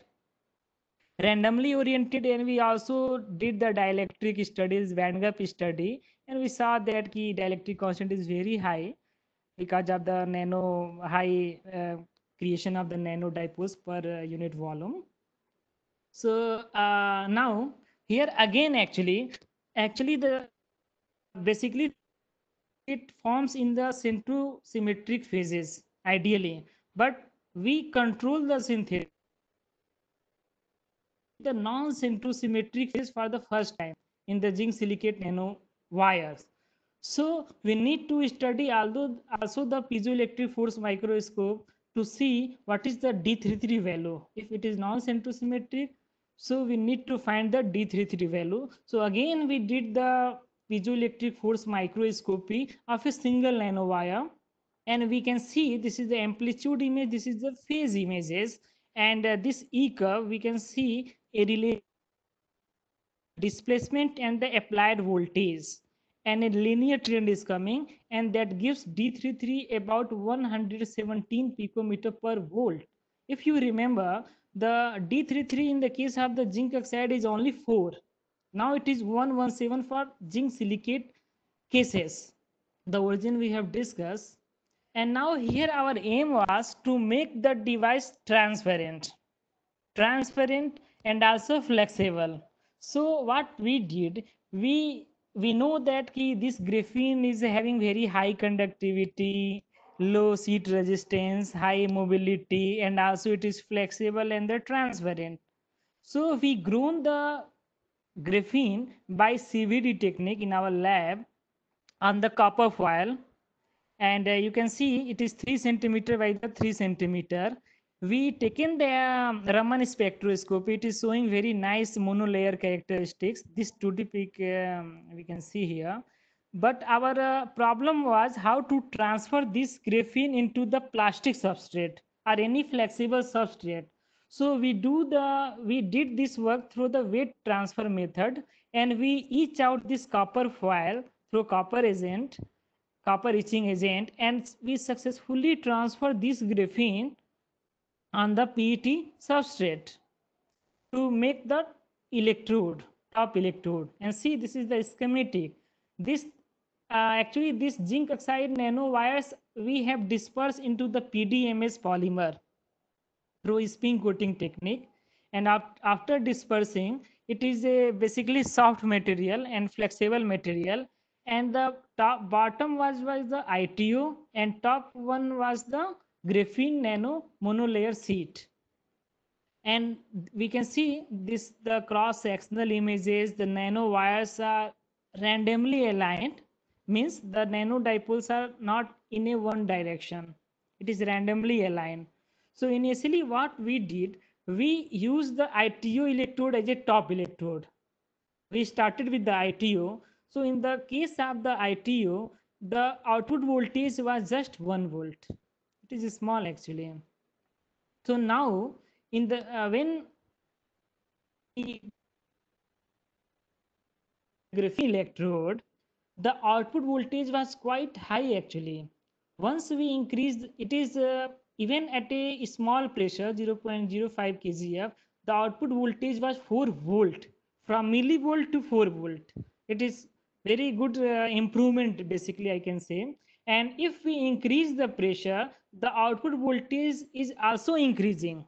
It means it is proportional to the applied force. And if you are applying high pressure, we can generate high electrical energy and this right graph is showing the switching effect it is because we need to confirm ki whether the output is coming from the device or some instrument error is happening. So we can see these peaks are switched when we connected positive to negative, negative to positive. So what, what, what is happening inside the nano generator? Once we are applying electrical uh, mechanical force due to piezoelectricity, positive and negative uh, uh, charges are generated and the electrons are transported from top to bottom side. It means a positive peak is coming. And once we are releasing the pressure, the piezoelectric voltage disappeared. And the accumulated electron at the bottom side now started to coming back on the top side, which gives the negative pulses. So in that way, the device is working.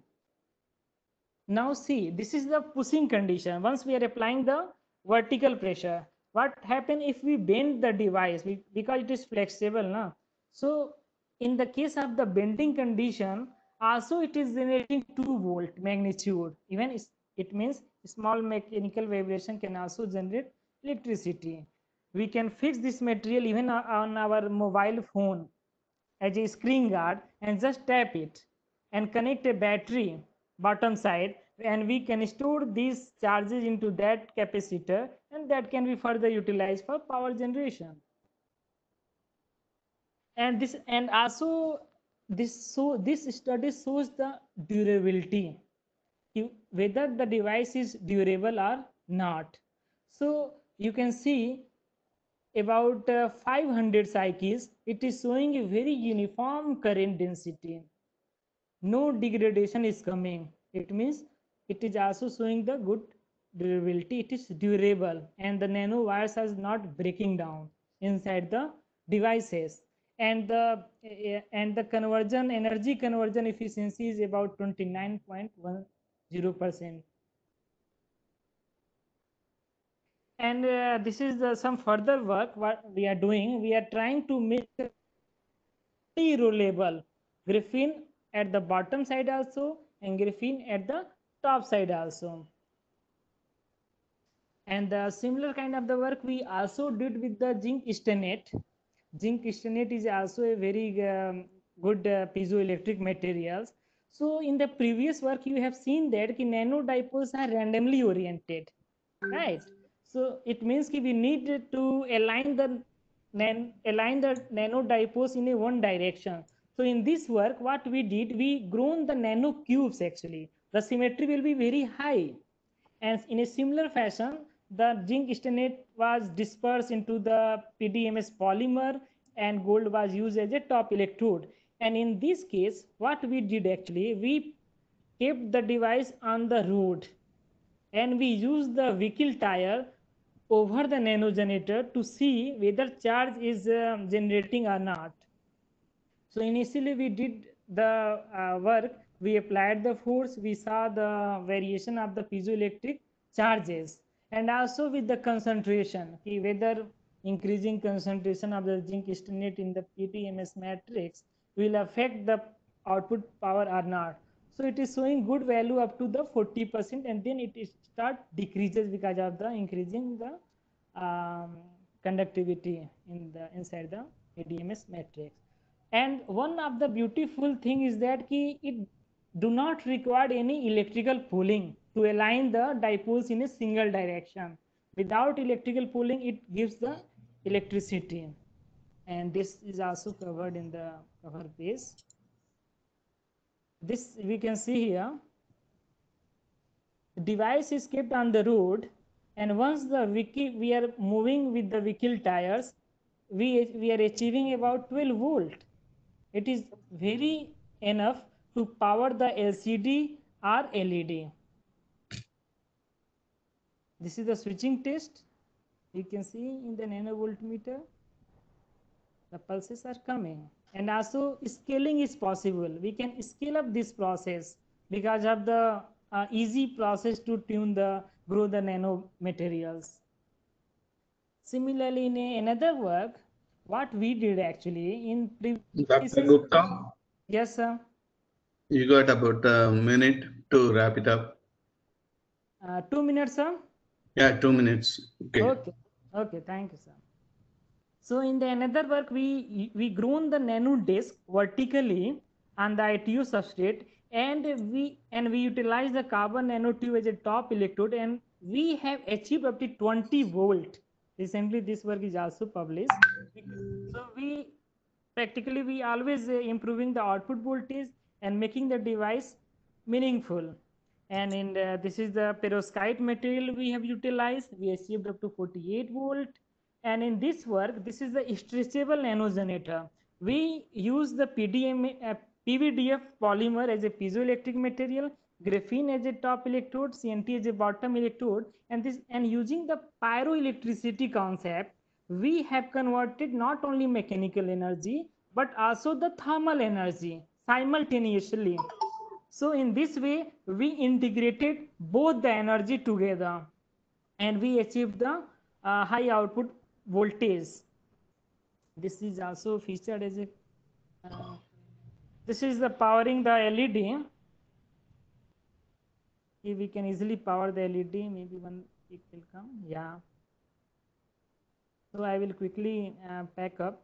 And uh, this is the this is the work we did uh, basically in the postdoc. We integrated the solar cell with the piezoelectricity in a one device itself. Means we can convert light energy as well as the mechanical energy together having a single device. And also we have improved the solar solar cell efficiency. You can see this video. This is under the under the solar cell solar light and once we apply the pressure the output was increasing means simultaneously we can harvest solar energy as well as mechanical energy i think uh, i have done it few of the work uh, i have not discussed so thank you very much sir and i will be highly thankful to my phd scholar who worked hard to get these results. Thank you, sir. Thank you, Dr. Manoj Kumar Gupta, for nice presentation.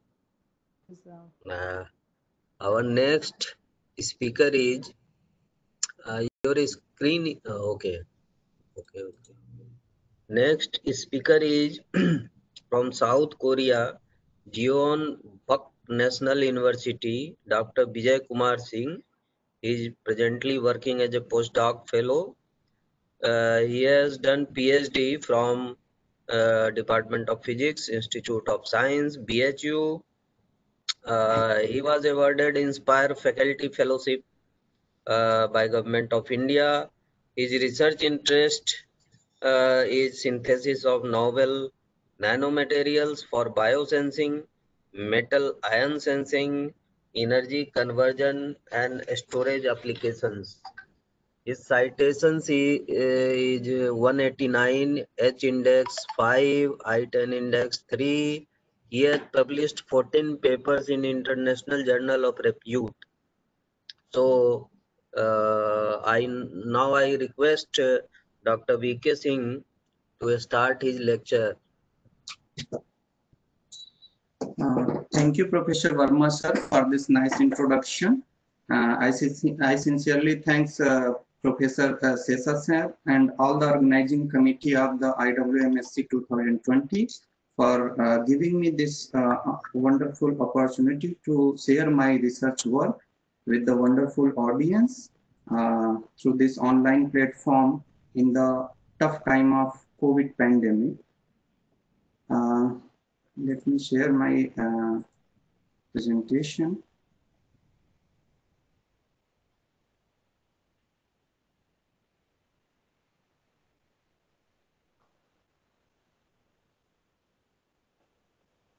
Yeah. So today I will discuss about the novel 2D, 0D and hybrid nanomaterials, its synthesis, characterization and applications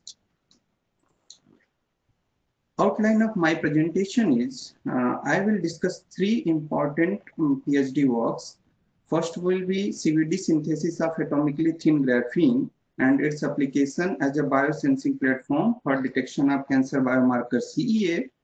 Second one will be the growth parameters electrical and optical behavior study of 2D tungsten disulfide And third one will be the UV photo detector based on 0D 2D hybrid structure of WS2 quantum dot with graphene. I will discuss all the uh, these work in detail so the young audience can get uh, the much more information about my works. So basically my work is on nanomaterials. So I will briefly describe here what are the nanomaterials. So based on the quantum confinement, all the existing material can be classified as follows. If all the three dimensions of a material are uh, greater than the characteristic length scales, then material is known as classical or bulk material. Here density of state shows parabolic behavior. When one of the dimension of a material becomes comparable to the characteristic length scale, then material is known as 2D materials. Here density of state shows stair-like behavior. And when two dimensions of a material become comparable to the characteristic length scale, then these kind of materials are known as 1D materials and density of state shows spike-like behavior. And uh, if all the three dimensions of a material becomes comparable to the characteristic length scales, then such kind of material are known as quantum dot material. And in this case, density of state shows atomic like spectra. In, in this, uh, I have worked on 2D material and 0D material, which will be discussed in the coming slide. So coming to the 2D material, there are uh, materials which are atomically thin and expanded in two dimensions are known as 2D material. Followed by the discovery of graphene in 2004, several 2D materials have been explored. Presently, 2D material can serve all the electronic materials ranging from insulator to superconductor. From this library of 2D material, we have chosen graphene, which is semi-metal in nature, and uh, WS2, which is semiconductor in nature, uh, which will be discussed in the coming slides. And 0D quantum dots are another interesting class of material. These materials are also known as artificial or synthetic atoms. When all the dimensions of a material com are comparable to the Bohr exciton radius defined by this relation, then material is known as quantum dot. In case of WS2, on which I have worked, it is 1.23 nanometer. The beauty of such kind of material is that they shows uh, size-dependent band gap. And the uh, beauty of these materials is that when they are optically excited, they selectively absorb particular wavelength of light and shows the size-dependent fluorescence behavior. And these material, due to their unique optical properties, can be used for several potential applications like as light-emitting diodes, as photosensitizer, as a bioimaging probe, as a metal ion sensor, etc.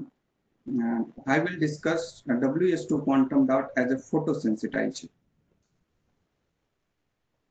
So coming to the first work, which is CVD synthesis of atomically thin graphene and its application as a biosensing platform for detection of cancer biomarker CEA. This work is published in Biosensor and Bioelectronics. So question here is why we wanted to detect CEA. So CEA is very important cancer biomarker Normal level of CEA in healthy human serum is less than 2.5 nanogram per ml and in uh, heavy smokers it is around 5 nanogram per ml. However, in patients suffering from stomach cancer, lung cancer, liver cancer, etc., concentration of CEA got increased. So, sensitive and accurate detection of CEA could lead to the diagnosis of cancer at its early stage. However, presently used techniques like ELISA and colony counting methods are tedious and time consuming. On the other hand, bioelectrode based biosensor offers rapid and sensitive measurements. As uh, Professor uh, Kaushik sir already discussed more about the biosensor, so biosensor has two important components. One is bioreceptor made up of Im, uh, immobilized enzymes and Another one is the biocompatible layer, which is used to bond the bioreceptors.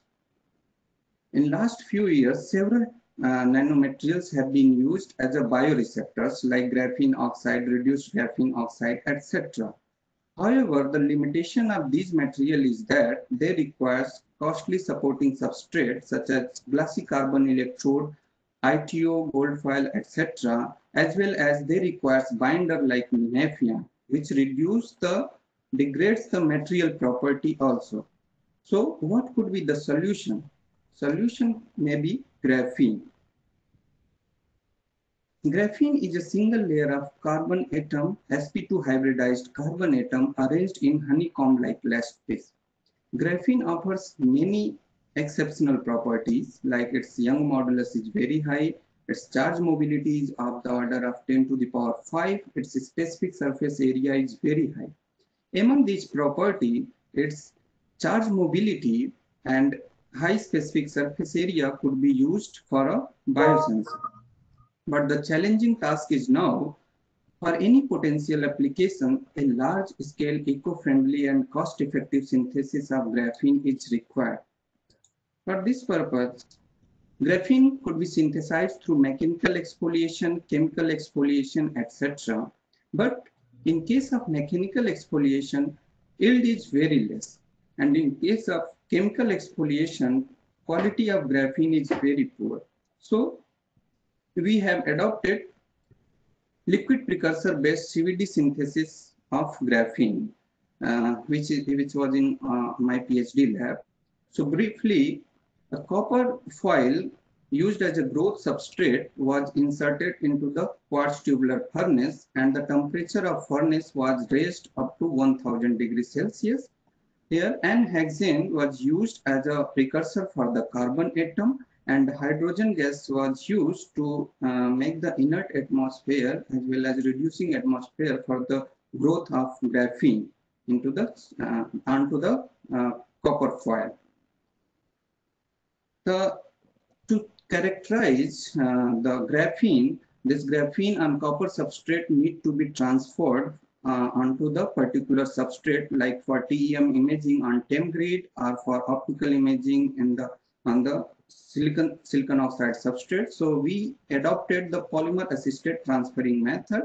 The schematic shows how graphene was transferred from the copper substrate to the silicon silicon oxide substrate. This uh, square patch shows the graphene layer on silicon silicon oxide substrate. Next, we used this uh, graphene uh, to see the quality of graphene. We performed the Raman spectroscopy. In the Raman spectrum, we observed three important bands, D, G, and 2D, where D and 2D band correspond to the in-plane breathing of carbon rings, and uh, G band correspond to the in-plane stretching of carbon-carbon uh, bond. So mostly we found that 2D band was much intense than G band. This is the signature of single layer graphene.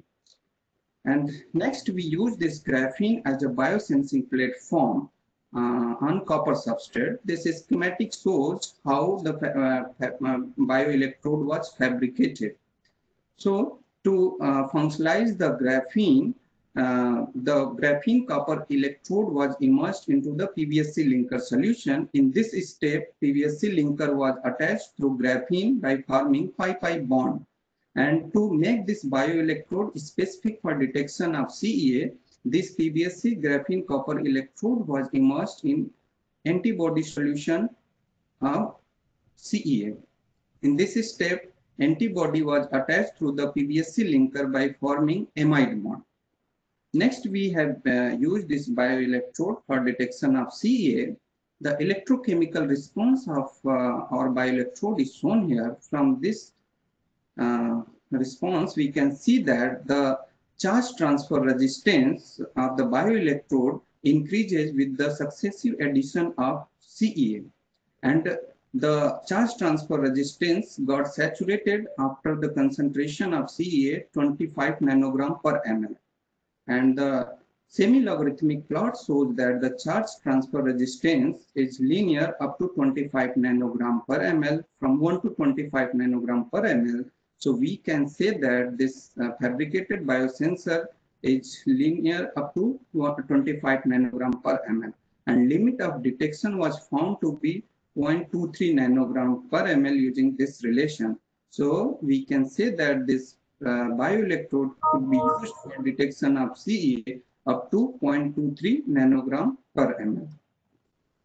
So summary of this work is that for the very first time as synthesized graphene on copper substrate has been used as a bioelectrode material for detection of CEA, which does not demand any further tedious transferring process.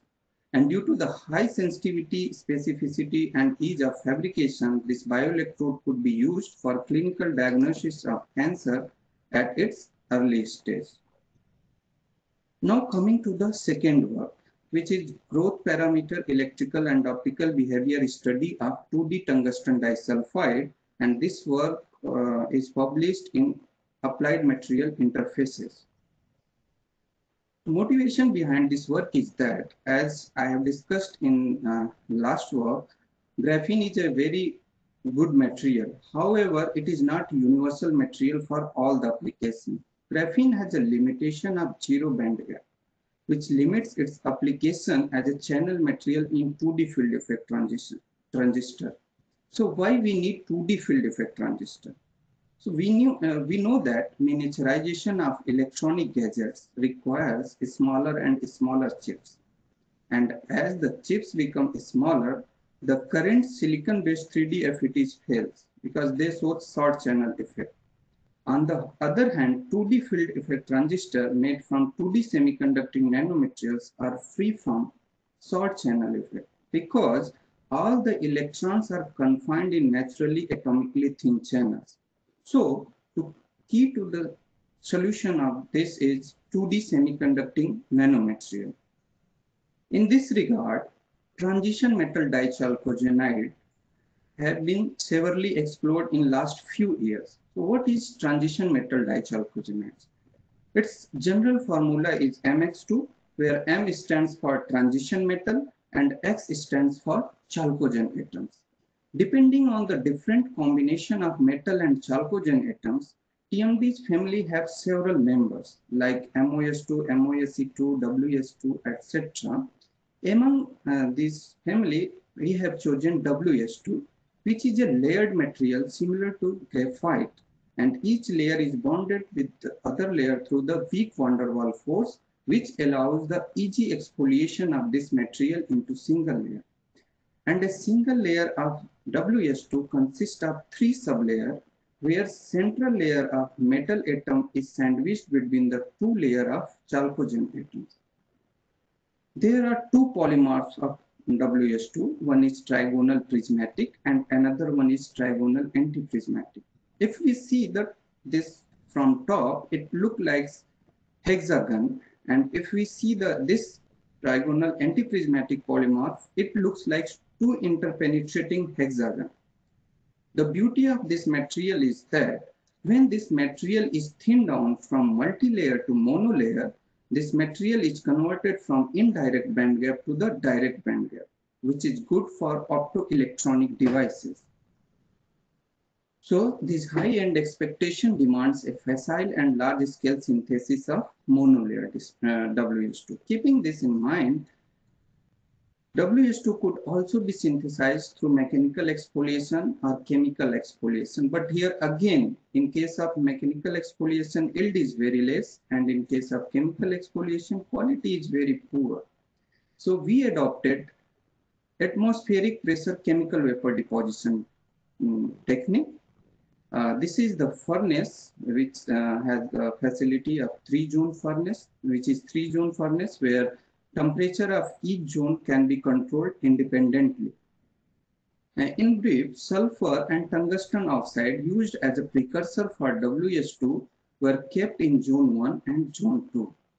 And silicon silicon oxide wafer used as a growth substrate was put on the aluminum board containing tungsten oxide and argon gas is used to create the inert atmosphere in the growth zone as well as for carrying the precursor into the growth chamber. There are several key factors which uh, hinders the good quality growth of WS2 like its pressure of the growth chamber, precursor amount, control of the temperature of different zone. So we did lot of experiment and optimize these growth parameters. And after the optimization, we got such a beautiful triangular morphology growth of WS2. We can see from this optical image. And the maximum lateral size of as grown WS2 was 40 micrometer. Same image again showing the uh, triangular morphology growth of WS2 and this is the optimized growth parameter for the WS2. To confirm the number of layer and quality of graphene, uh, as Professor Rajesh told, Raman spectroscopy is a very versatile technique, simple and very versatile technique. So we perform Raman spectroscopy. In the Raman spectrum, two important band of WS2 has been observed where E2G1 band correspond to the in-plane vibration of tungsten and sulfur atom and A1G band correspond to the out-of-plane vibration of tungsten and sulfur atom. In this case, we observed that E2G1 was much more pronounced than A1G band. So this is the signature of monolayer WS2. To confirm the same, we also perform the atomic force microscopy. This is the AFM image of monolayer uh, of WS2 and a high difference between the silicon substrate and uh, WS2 crystal of 1 nanometer clearly suggests the growth of monolayer WS2. To see the optical property of as-grown WS2 crystal, we perform the absorption spectroscopy. In the absorption spectrum, three absorption bands A, B, C have been observed, where A and B correspond to the direct excitonic transition at K point and C band correspond to the intervalley transition.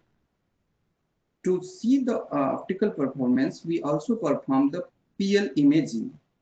This is the PL map of uh, WS2 crystal. From this, we can see that at the edges, PL is very sharp and as we move from the edge to the center and the number of layer increases, the PL intensity decreases and the shifted toward the higher wavelength. And this again confirms that the single layer WS2 is direct band gap in nature and as the number of layer increases, the material converted into the indirect band gap. Further, we observed that we perform the fluorescence microscopy and we observed that under the exposure of green light, this WS2 crystal at edges gives very strong red fluorescence. And in the A, in the center where number of layer is increased, the fluorescence is so much decreased that it could not be imaged under the given exposure condition. So from here we can say that monolayer WS2 gives very strong red fluorescence under the exposure of green light. Next, we use this uh, as-grown WS2 crystal as a channel material in field effect transistor. So before moving to my result, I will briefly describe here what is a field effect transistor. A field effect transistor is a three-terminal device having gate, source, and drain. There is a semiconductor layer, dielectric layer, and three terminals, gate, source and drain.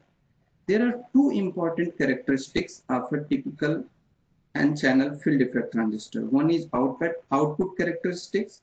It should show linear region, saturation region, as well as the gate field effect. And the important parameters of a field effect transistor like field effect mobility and current on-off ratio is calculated from the transfer characteristics. So this shows the schematic uh, how field effect transistor was fabricated. As grown uh, WS2 crystal uh, was transferred on the alumina coated silicon silicon oxide substrate using the polymer assisted transferring method and then source drain contact were deposited on this um, device. This is the schematic of device showing the WS2 crystal as a channel material the channel length uh, of the device was 100 nanometer and channel width was 10 micrometer. Output characteristics of our field effect transistor clearly showing the linear region, saturation region, as well as the gate field effect. Uh, and the field effect mobility uh, and the current on-off ratio of the order of 10 to power 6 obtained from the transfer characteristics clearly suggests that it is sufficient enough for digital electronic applications the field effect mobility, which is a very important parameter in case of field effect transistor was calculated using this relation and it is obtained on the order of 6 centimeter square per volt per second, which is good enough for 2D field effect transistor. So in summary Uh, of this work is that the optimized growth parameter like precursor amount, gas flow rate, temperature, etc held monolayer WS2 crystal and the monolayer WS2 gives very strong red emission. However, emission intensity sharply decreases as the number of layer is increased and the FET characterization reveals that the edge produced WS2 crystal can be used as a channel material in 2D field effect transistor. Now moving to the third work, which is UV photodetector based on 0D 2D hybrid structure of WS2 quantum dot with graphene. This work was published in ACS Applied Nanomaterial. So uh, motivation behind this work uh, is that photodetectors is a device which converts lights into electrical signals. Depending on different electromagnetic uh, radiation, photodetectors can have different applications like for pollution detection, imaging, bioimaging, chemical analysis, etc. The graphene, single layer graphene has another limitation is of limited optical absorption. Graphene can only absorb 2.3% of light, which is a bottleneck in developing graphene-based photodetectors. If we develop graphene-based photodetectors, it shows very low responsivity of the order of milliampere per watt. However, the responsivity of graphene could be modified, uh, could be enhanced by modifying its surface with semiconducting WS2 quantum dot, which strongly interacts with UV light. Thus, a hybrid structure of WS2 quantum dot with graphene can give highly responsive ultra-thin photodetector uh, in which light absorption and carrier transportation may be realized in WS2 quantum dot and graphene respectively. Keeping this in mind, we synthesized uh, WS2 quantum dot through hydrothermal technique. Uh, in brief, sodium tungstate and L-cysteine were uh, mixed in DI water under the magnetic stirring condition and the solution was put for hydrothermal reaction at 200 degrees Celsius for 36 hours. And after the completion of reaction, we got yellowish solution containing WS2 quantum dot. The chemical reaction involved is like this one. And this, this uh, schematic shows how photodetector device was fabricated. Like graphene grown on copper substrate, which I have already discussed in my previous work, were transferred using polymer assisted transfer method on the silicon silicon oxide substrate. And then silver contacts on graphene were made through RF sputtering of silver. And finally, WS2 quantum dot was spin coated on the this structure. This is the schematic of photodetector device and this is the digital photograph of our photodetector device. The AFM image of WS2 quantum dot uh, graphene system shows the graphene layer having WS2 quantum dot dispersed over the graphene layer. And then we check the optical performance of this device and we observe that from the IV response of photodetector, we can see that under the dark light, there is no response of photodetector. And when the photodetector device was illuminated with the UV lamp of 365 nanometer, then a huge contrast ratio in UV and dark current was found of the order of 20, 22. And we also performed the temperature dependent IV response of photodetector and we observed that a very little change was found in the current value. So a small change in photocurrent clearly shows the stability of device at higher temperature.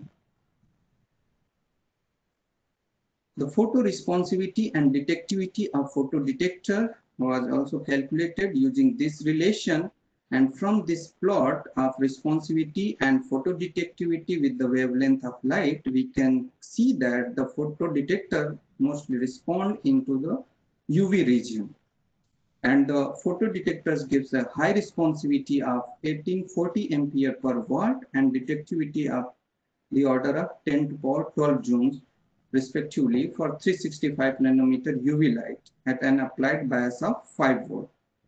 We also did the time response study of the photodetector and the rise time, which is defined as a time uh, for a pulse rise from 10% to 19 per 90% was obtained on the order of 2.04 second and the fall time was 2.89 second, which is uh, uh, good enough, but uh, this is not uh, up to the mark. We need to uh, improve the device system so that this uh, response time could be little lower. And this uh, shows the uh, photodetector response mechanism. Figure B showing the band structure of graphene and WS2 quantum dot. Under the thermal equilibrium, this graphene and WS2, the Fermi level of this graphene and WS2 will be aligned and when the uh, this system photodetector system is optically excited, a large number of electron and hole pair will be generated into the WS2 quantum dot, and this electron is transferred to the graphene and swept to the electrode with the help of graphene, giving rise to the UV current. So this is the basic mechanism of uh, response of, of photodetector. So in summary, limitation of graphene, which is a, a light absorption property of 2.3% only, is overcome by making hybrid structure of WS2 quantum dot with graphene. The photodetector exhibited very high responsivity of 1840 ampere per watt and excellent photodetectivity of 7.47 into 10 power 12 joules. And our finding advocates that hybrid structure of WS2 quantum graphene is a prospective candidate for high performance optoelectronic devices. So this is all for today. And finally, I would like to acknowledge uh, at this platform my uh, PhD supervisors, Professor R.S. Tiwari and Professor Anchal Srivastav, who helped me in working all these works, and uh, Professor Sungjun Park, who is my postdoc advisor, and finally my research collaborators, uh, Professor B.D. Malhotra sir, Dr. Saptarshi Das sir and Dr. Amritanshu Pandey. Thank you. So thank you, Dr. VK Singh, for very nice presentation. Our last speaker for today is Dr. Himanshu Misra, also a PhD from BHU uh, Institute of Science, postdoc researcher presently uh, at the Department of Physics and Astronomy, Uppsala University, Sweden. His research interest includes novel 2D materials and their application in spintronics, optoelectronics, and flexible nano devices. His citations is almost 102 with H index of 5, I10 index of 2, he has published 17 papers so far in International Journal of Repute. So with this, I request Dr. Himanshu Misra to start his lecture. Dr. Uh, Himanshu. Yeah, uh, thank you very much uh, to Professor Verma sir. And uh, I'm uh, thankful to all, all the organizing committee and all the panelists to, uh, to provide a platform to, uh, to put my research work. So uh, I'm going to share my screen.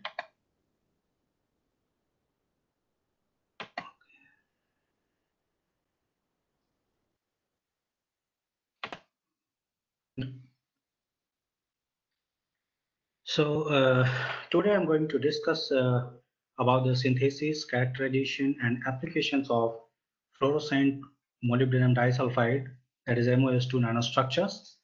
Today, all the work that I will discuss, uh, these are the my PhD work did at uh, BHU under the supervision of uh, Professor Anshul. So first of all, uh, I'll brief my outlines that today I'm going to discuss.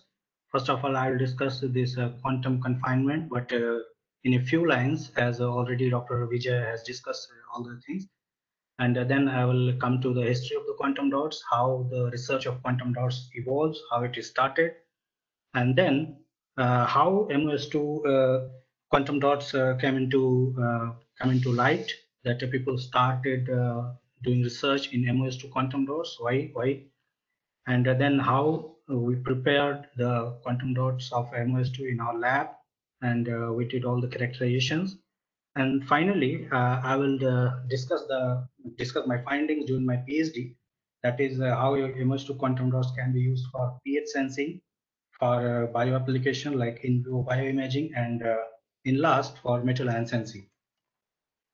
So earlier, as a professor, uh, Dr. Vijay has discussed that uh, in a, a, structure having at least one of its dimension in nanometer range is uh, classified as nanostructures. So uh, here I've shown the four uh, diagrams. One is 3D structure, 2D structure, 1D structure, and 0D structure. The classification of these nanostructures depends upon the confinement uh, provided to the motion of electron. If electrons are free to move in all the three directions, then uh, we're left with the classical bodies like 3D uh, structures. If the motion of electron is confined into two direction, uh, uh confined in one direction and electron is free to move in two direction, then we had 2D uh, structures. Quantum wells are the uh, example of this 2D structure. And if the motion of the electron is confined from two directions and is free to free to move in one direction, then we're left with 1D structure. CNTs or any nano wire, nano rods are the example of this this 1D structure. And finally, if uh, motion of electron is confined in all the three directions, which is the extreme case, then we're left with the zero D structures. And quantum dots are the best example of these uh, zero D structures. So uh, today, uh, I will discuss this uh, zero D structure. So example of uh, zero D structures are quantum dots. So if a, a, size of a quantum dots is comparable to its Bohr excitonic radius, and the fascinating thing about the quantum dots are its color tunability as a function of its shape, size, and uh, surface environment. And uh, due to its uh, small size and uh, low cytotoxicity and better biocompatibility, these quantum dots are uh, suitable for uh, bio applications. So so uh, history of the quantum dots uh, starts uh, in 1980 when uh, a Russian uh, physicist Alexei Ekimov observed the nanocrystals of uh, copper chloride and cadmium selenide in molten glass matrix and published a paper. And then the, the research community got interested in the research of quantum dots by, by a theory provided by Alexander Efros which relates the size dependency of these quantum dots with the emission property of the quantum dots. And finally, it was uh, further evolutionized by revolutionized by Louis Brus. So if uh, if we uh, if we uh, if we try to find that uh, how these quantum dots are get revolutionized in the different parts of the world, so we can classify the, these in three parts. How, how these uh, uh, quantum dot research is evolutionized uh, in Europe. That was done by Professor Arnim Henglein. And uh, then in Asia, it was started by Professor Tadashi Ito, Japan. And uh, in USA, quantum dot research started with L. Brus. So as I told that uh, the fascinating property of quantum dots are its size dependent tunability. Color tunability means uh, if we excite uh, a, a, quantum dot with uh, some suitable wavelength, then we start emitting some color of light. So, So uh, uh, considering the, considering all these things, people started looking for a quantum dot which is uh, more fluorescent, which uh, emits a high intensity of color. So research is just started in the field of cadmium, uh, cadmium-based quantum dots like uh, CdSe, CDT, CDS, etc. But uh, while uh, looking for the applications of these uh, cadmium-based quantum dots, uh, people fail to apply those quantum dots for bio application due to the toxic nature of cadmium. So people started looking for cadmium-free quantum dots and several quantum dots like silicon quantum dots, graphene quantum dots, and uh, transition metal dichalcogenides such as MOS2, WS2, and HBN quantum dots are are uh, uh, are found out. So today uh, I'll focus on cadmium-free quantum dots, among which I will discuss this MOS2 quantum dots. So first of all, uh, I'll discuss uh, what is this MOS2, what is its uh, crystal structure, and what is its property. So MOS2 is a is a compound which which put a flagship in transition metal dichalcogenides family. Uh, as uh, Dr. Vijay told that uh, transition metal dichalcogenides family had a layered structure where a metal layer is sandwiched between two chalcogen layers. Like in MOS2, one molybdenum layer is sandwiched between two sulfur layers, one upper sulfur layers and one is in down sulfur layers. So the bulk structure of uh, MOS2 is uh, basically uh, have a number of layers of this arrangement. So if we'll see a, a, single layer of this MOS2, it has in plane uh, covalent bonding between uh, molybdenum and sulfur atoms. But if we uh, took the a number of layers of other layers, the one layer is uh, uh, attached with the other layer with a weak van der Waals uh, force. So the fascinating property of this TMDs, these TMDs are their layer dependent bandgap transition, first, transition, such as in case of MOS2, uh, uh, for a, for bulk MOS2, it is of indirect band gap having 1.2 electron volt. But if we thinned it to a monolayer, it shows a direct band gap nature of 1.8 electron volt. The MOS2 or any uh, TMD family exists in uh, two polymorph for its uh, monolayer. Uh, but if we'll consider its bulk structure, there is another polymorph called 3R. This is that is a rhombohedral structure. So here I've shown just only for monolayers. The, the, the here I've shown the top view of a 2H polymorph. The, the, the property of this polymorph is that it is of semiconducting nature and the 1T polymorph, it is of this uh, metallic nature. So uh, if we'll uh, see uh, on top of this uh, monolayer, we'll find that there are hexagon patterns of alternative, car, uh, alternative molybdenum and sulfur atoms. While in case of 1T polymorph, there are two hexagon structures interpenetrating to each other.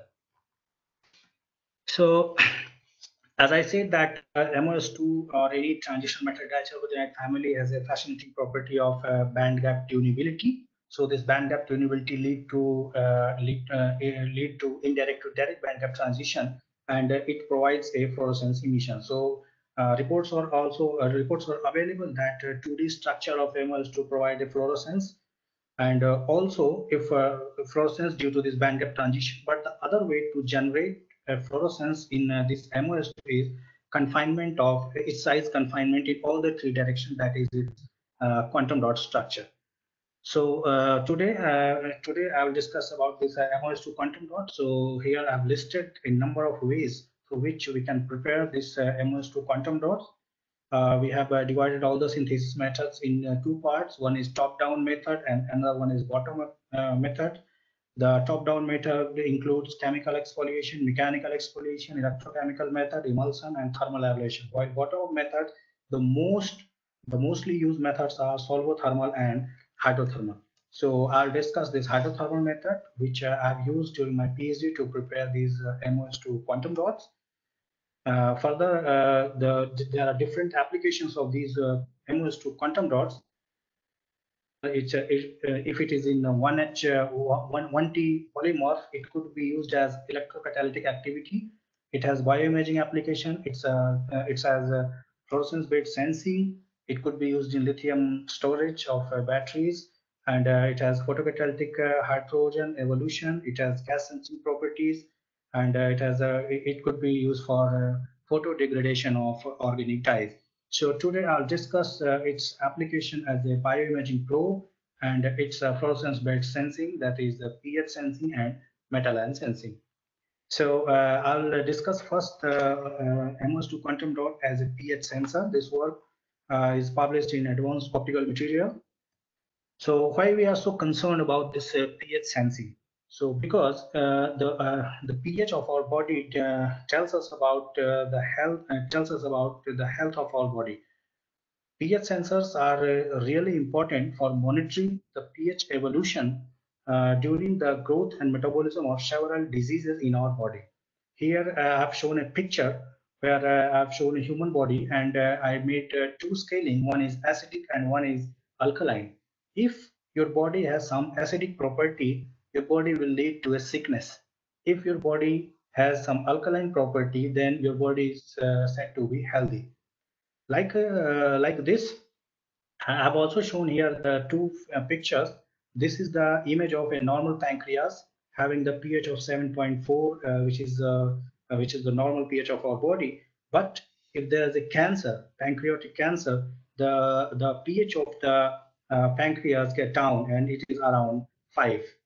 And uh, the other thing is that uh, the commercial available pH sensors uh, are failed to monitor these things, this in situ things. So we tried to synthesize this uh, MOS2 quantum dots and used used this MOS2 quantum dots as a pH sensor. So we have uh, used a hydrothermal method to synthesize these quantum dots. The reagents used for these uh, quantum dots are sodium molybdate and L-cysteine. These are the amount for in the quantum dot. Sodium molybdate is a 0.25 gram in 25 ml of water and L-cysteine is 0.5 gram in 25 ml of water. And then by adding the uh, 0.1 molar HCl, we maintain the pH of this solution uh, around 6.5. And uh, we put for hydrothermal reaction at 200 degrees Celsius for 36 hours, and uh, we get uh, a, a light yellowish uh, solution, which is which contains the MOS2 quantum dots. Here I've shown uh, two pictures. This is the picture uh, under visible light of the synthesized quantum dots, but if we'll excite uh, this quantum dot with a UV light of a 365 nanometer wavelength, we get this cyan color fluorescence. So this, this is the possible hydrothermal reaction that is occurring during this hydrothermal reaction. So synthesized MOS2 quantum dots have been characterized uh, structurally by TEM uh, and HRTEM. This TEM micrograph shows a uniform dispersion of uh, MOS2 quantum dots having an average uh, particle size of 6 nanometer and the structure of MOS2 is confirmed uh, by, by, by doing uh, HRTEM with an interlayer spacing of 0.27 nanometer corresponding to one OO plane of MOS2. Uh, uh, further, we tried to find out that whether our synthesized quantum dots are uh, few layer or monolayer, what is the thickness of our MOS2 quantum dots. So we performed AFM uh, waveform characterization. And here in the AFM picture, you can again see the uniform dispersion of MOS2 quantum dots. And uh, the height profiling of these quantum dots shows that uh, an average height size of uh, 7 nanometer, which tells that these quantum dots are multi-layer in nature. So further uh, confirm the structure, we did uh, some, uh, we, we did micro Raman of these uh, MOS2 quantum dots. Like a graphene, MOS2 also has some characteristic peaks named as uh, E2G, uh, E2, E12G and A1G. E2G is the in-plane vibration of molybdenum and sulfur atoms, while A1G is the out-of-plane vibration of sulfur atom, while uh, molybdenum atom remains constant. So uh, in our case, uh, we compared the Raman spectra of MOS2 quantum dots with uh, bulk MOS2.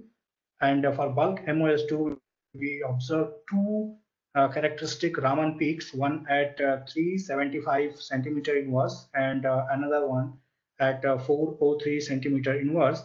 While in case of uh, MOS2 quantum dots, this uh, E2G uh, peak arise at uh, 376 centimeter inverse and this A1G peak at uh, 402. So the another uh, another technique to determine the thickness of uh, thickness of this uh, uh, uh, MOS2 is the separation between the E2G and A1GP.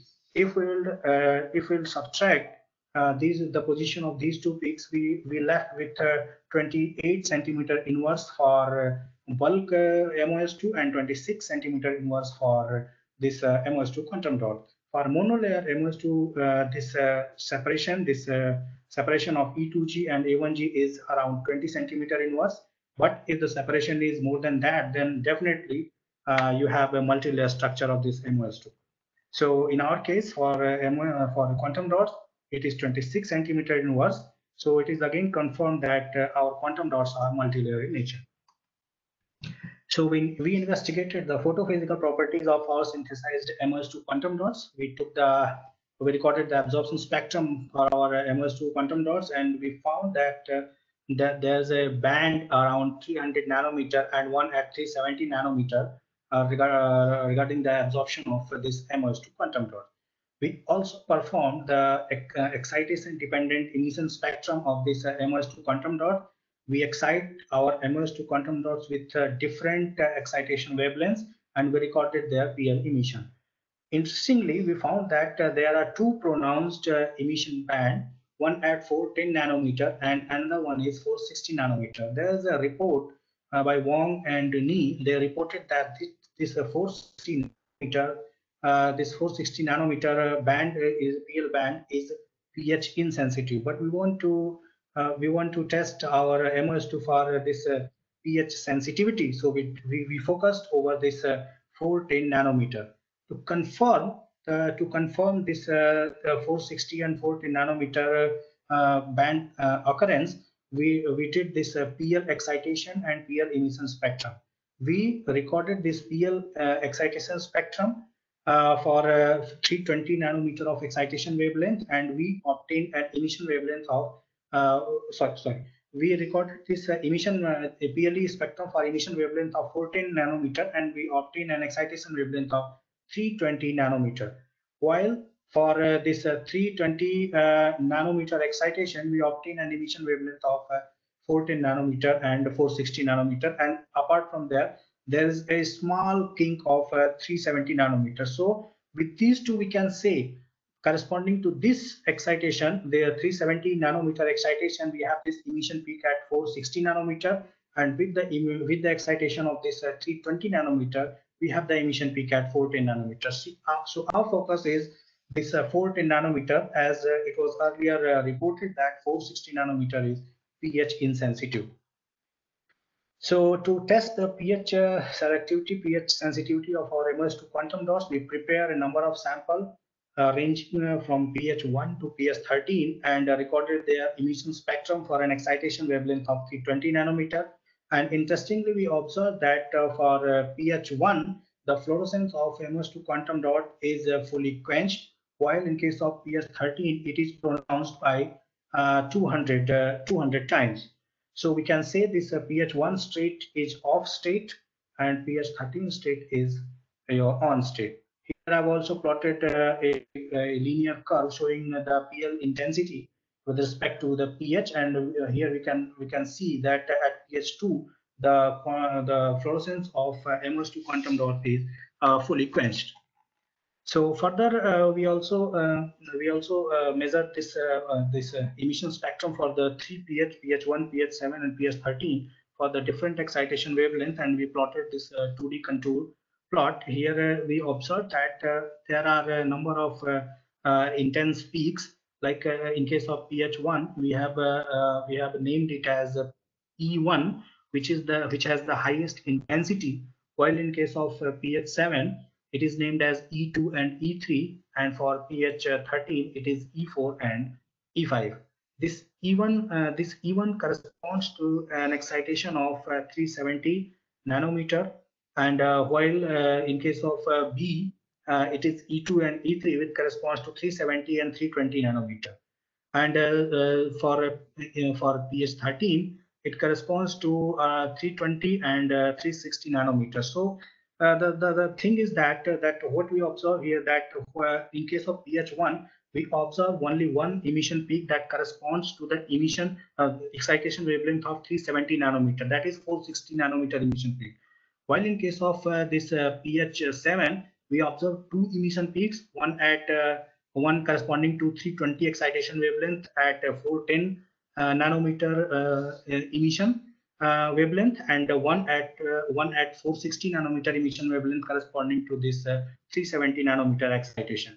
And similarly, PS13 we again observe this uh, this uh, uh, excitation uh, excitation uh, uh, excitation uh, em- emission peak at 3 uh, 441 nanometer corresponding to this uh, 320 and one at 460 corresponding to this, uh, 370 nanometer. So we uh, we, we can say that uh, while changing the pH, the position of uh, this uh, pH sensitive peak also changes. In case of pH7, it is at uh, 410 nanometer. Uh, here it is at uh, 410 nanometer. And uh, when we, uh, we uh, reduce the pH, it is shifted somewhere at 370 nanometer, which is not visible here, but uh, it is there in the PL spectrum. And while for PS13, this uh, 410 nanometer emission peak shifted to 440 uh, nanometer emission. So we see that uh, in case of PH1, there is a blue shift in the emission uh, peak of uh, of pH sensitive emission peak, and for PS13, there's a there's a red shift of pH sensitive peak. So so uh, we synthesize this MOS2 quantum dots, and these quantum dots uh, uh, are found to be pH sensitive. So why these are so? So the answer is that adsorb functionalities. Uh, to test to confirm that uh, what we are thinking is uh, right, we recorded this FTIR spectrum for this these three pH quantum dots, pH1, pH7, and pH13, and we observed that all the FTIR bands are at the same place except their intensities are changed. So in case of pH13, we have a higher intensity, while in case of pH1, we have a smaller intensity. So this suggests that uh, strong FTIR peaks in PS13 are due to the presence of large number of functional groups. So uh, these are uh, these bands are uh, th- these bands are uh, these bands corresponds to the functionalities like uh, OH, NH2, and uh, sulfate. So uh, all these uh, functional groups have are electron rich. So we can say the effectively uh, MOS2 surface is, has some negative potential. So uh, we we found that uh, uh, we found two properties in our pH sensitive MOS2 that it could be switched from off state to on state depending upon the pH from 1 to 13 and its fluorescence also changes its position from uh, 410 to 370 for pH1 and from 410 to 441 for PH30. So we, we, we devised some mechanism to understand this. So pH uh, sensitive optical switching of MOS2 quantum dots could be understood by protonation and deprotonation process.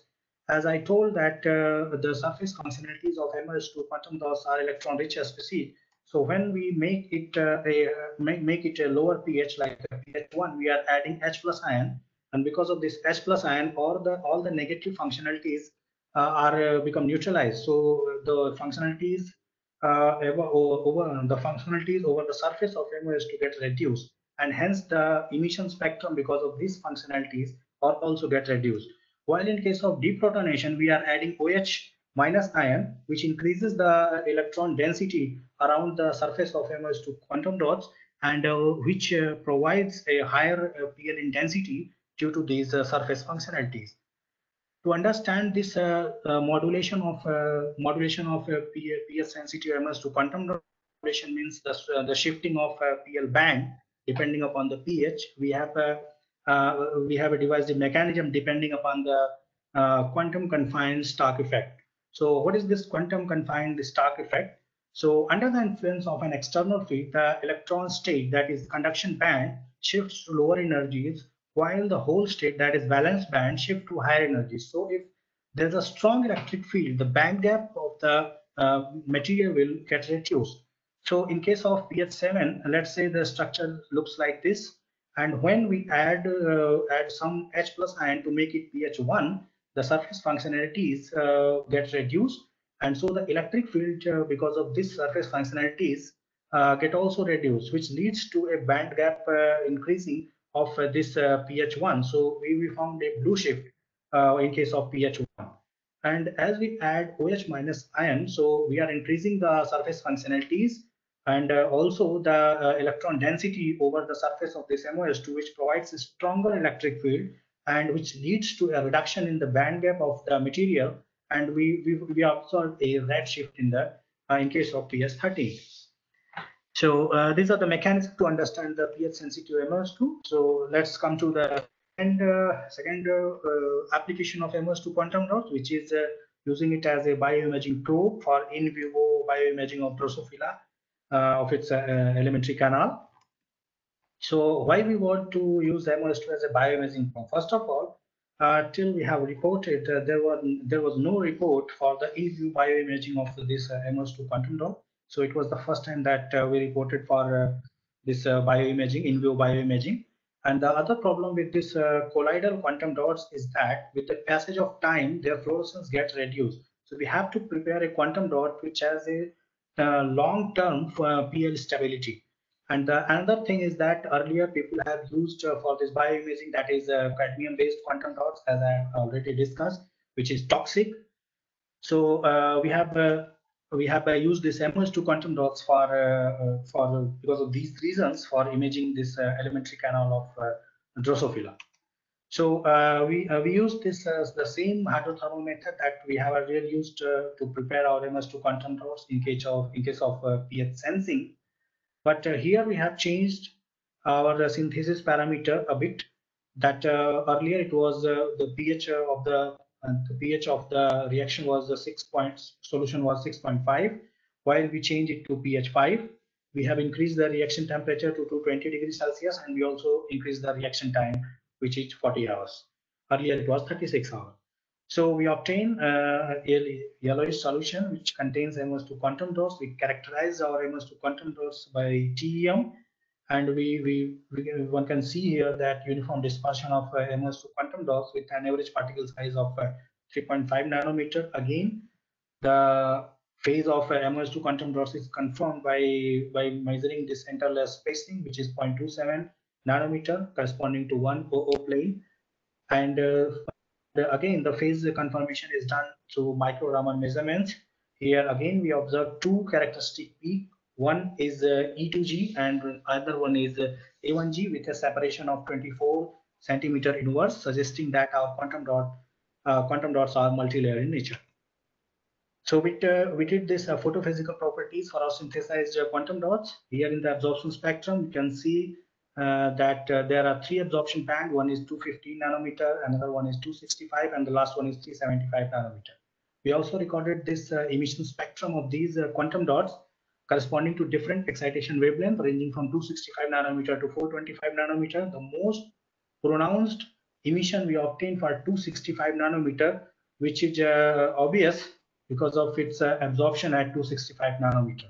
We also tested uh, the maximum PL intensities corresponding to different excitation wavelength, and we, we obtained a parabolic nature. We suggested that uh, that quantum dots that we have uh, synthesized uh, are polydispersed, have polydispersity uh, nature. I mean, this uh, they have the different particle sizes. So uh, to uh, to investigate the uh, the environment of these MOS2 quantum dots, we did uh, FTIR spectrum and uh, observed that uh, it has just several peaks corresponding to OH bending, CN stretching, uh, S double one O and double one C and OH stretching stretcher. So uh, we also tested uh, the long-term PL stability. That was uh, our objective to test that whether our quantum dots sustain for a long time with a constant PL emission intensity or uh, its uh, PL intensity goes down. So we tested our quantum dots up to 180 days, that is up to six months, and we observed that there is only 3% reduction in the uh, emission intensity of our quantum dots. And the quantum yield calculated for our quantum dots is found to be around 2.3, which is uh, quite good for uh, an inorganic quantum dots. So uh, why our MOS2 quantum dots are so stable? Why it has some so long-term PL stability? And uh, the again the, the the answer is surface functionalized uh, MOS2 uh, surface functionalization of uh, this MOS2 uh, quantum dot. So here I have shown two schematic to understand the whole process. If your quantum dot surface is not functionalized, then with the passage of the time, all the quantum dots which are multilayer in nature and uh, we can say in disk shape, they will get gathered, they will get uh, stacked one over another. So there will be no confinement and we don't uh, we don't have any PL. But if there is a functionalization over the surface, there will be electrostatic repulsion in between the particles so that all the particles will be dispersed in the uh, in the medium for a long time and we we have uh, an intense PL for a long time. This was further confirmed by using this zeta potential measurement where we found that the surface potential, surface zeta potential of MOS2 quantum dot is minus 26.3 millivolt. If the zeta potential measurement is uh, less than minus 20 millivolt or greater than plus 20 millivolt, then the then the colloidal suspension will be stable. So here it is uh, less than minus 20 millivolt. Uh, so our uh, MOS2 quantum dot shows stability, long-term stability, PL stability. So uh, as I told that uh, the surface functionalities are electron rich, so there will be a negative potential that also comes here, minus sign. So finally, we use our MOS2 quantum dots uh, for bioimaging in Drosophila fly. Why we have chosen this uh, Drosophila as a as a uh, model to investigate this uh, bioimaging of our MOS2 quantum dots. So there are a number of advantages. Like if we try to develop a, a drug or any, any any kind of thing, then uh, our aim is to use that drug or any that material or that property in our daily life for humans. So we, we always choose a model which is uh, similar to human. So Drosophila fly is a, a model for organism of uh, eukaryotics, which are humans, and uh, it has a small life cycle. I mean, you can perform your uh, your experiments very fast. It has easy breeding. You, you didn't you, you need not to be worried about uh, very much for this uh, breeding or uh, any kind of thing because breeding is important to fed while, while feeding this while feeding this MOS2 quantum dot to the larva of this uh, Drosophila. So in our study, we have uh, chosen two concentrations of uh, MOS2 quantum dots. One is 40 micro microliter per ml, and another is 80 microliter per ml. And we we feed this these quantum dots to the to the Drosophila larva. This is uh, this is the condition third instar larva, and uh, these larvae uh, used to take these uh, quantum dots through their food, uh, and uh, when they will grow up, they will have these quantum dots in their stomach. So finally, we just cut, bisect the, the alimentary canal of Drosophila fly. Here, here is the picture that that has been taken from a fluorescence microscope. In the first panel, that is figure A, B, and C, that shows the control panel. That is, uh, these are the alimentary canals of those uh, flies which uh, have uh, which have not uh, taken any uh, MOS2 quantum dots and figure panel second and pan panel third are showing just two showing the two alimentary canals having having feeding, feeding of 40 microliter per ml and 80 microliter per ml. So from here can see that the the flies the flies which uh, which has taken these MOS2 quantum dots in their food, their alimentary canal are flourishing under green filter.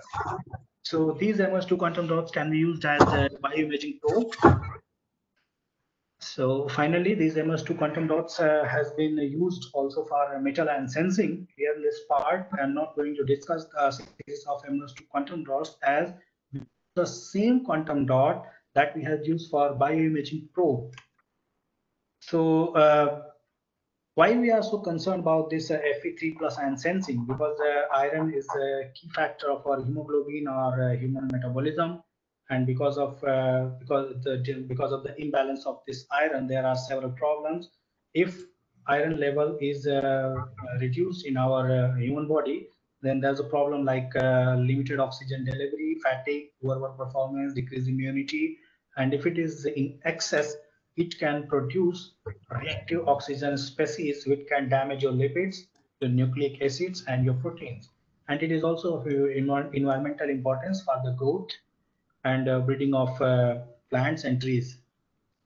So our synthesized MOS2 quantum dots has been uh, tested for uh, metal ion sensing for Fe3 plus ion sensing. Here in the figure A, I've shown the interaction study. Interaction study means uh, we, we have taken our MOS2 quantum dot and one by one we added uh, different metal ions. So and we recorded their PL spectra under a under a constant excitation wavelength. From here we can see that uh, the fluorescence uh, intensity of uh, our MOS2 quantum dot gets reduced more than 50% in case of Fe3 plus ions. So we, we can say that uh, these uh, Fe3 plus ion uh, are, are responding to our MOS2 quantum dots. Our MOS2 quantum dots are sensitive to these uh, Fe3 plus ions. Further, we, we also did some interference study. Interference study is important because uh, let's say uh, your fluorescence of MOS2 quantum dots get quenched in presence of Fe3 plus ion, but you add some other ion like uh, let's say copper or silver or any other. And if MOS2 quantum dots regain its fluorescence, then we we we cannot say that uh, this is a good probe. So it should not uh, it should not get uh, regain its uh, fluorescence. So for uh, testing, we did interference study, and uh, what we did that in the solution of MOS2 quantum dot, we added this Fe3 plus ion, and when its fluorescence get quenched, we tried to add another metal ions like copper, Fe2 plus, nickel, cobalt, etc. And we observed that there is no change in the fluorescence uh, level of this MOS2 quantum dot. So we can say our MOS2 quantum dots is sensitive only to this Fe3 plus ion. Further, to uh, to measure the uh, to measure the the Kindly conclude, uh, Dr. Misra. Yes, sir. I- I'm just about to finish. There's one or two Yeah. slides remains. Okay.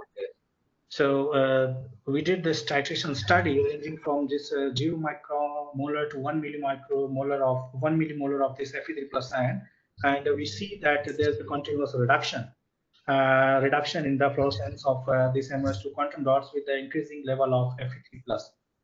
So we also plotted this uh, Stern-Volmer plot, which shows a bending towards the x-axis, which suggests that there are multiple fluorescing sites.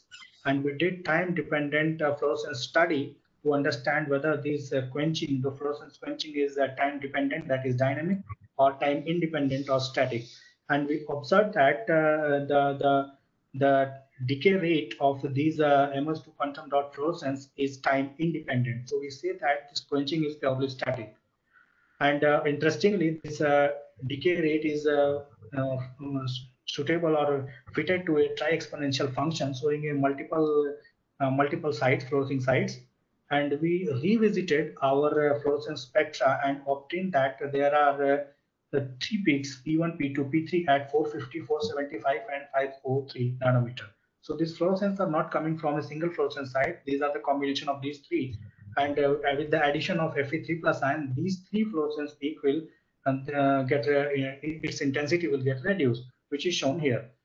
So uh, here I've shown the mechanism why this uh, MOS2 quantum dots are sensitive to this Fe3 plus and how it is sensing this. So this panel shows the experimental uh, schematic, and the second shows this uh, fluorescence mechanism.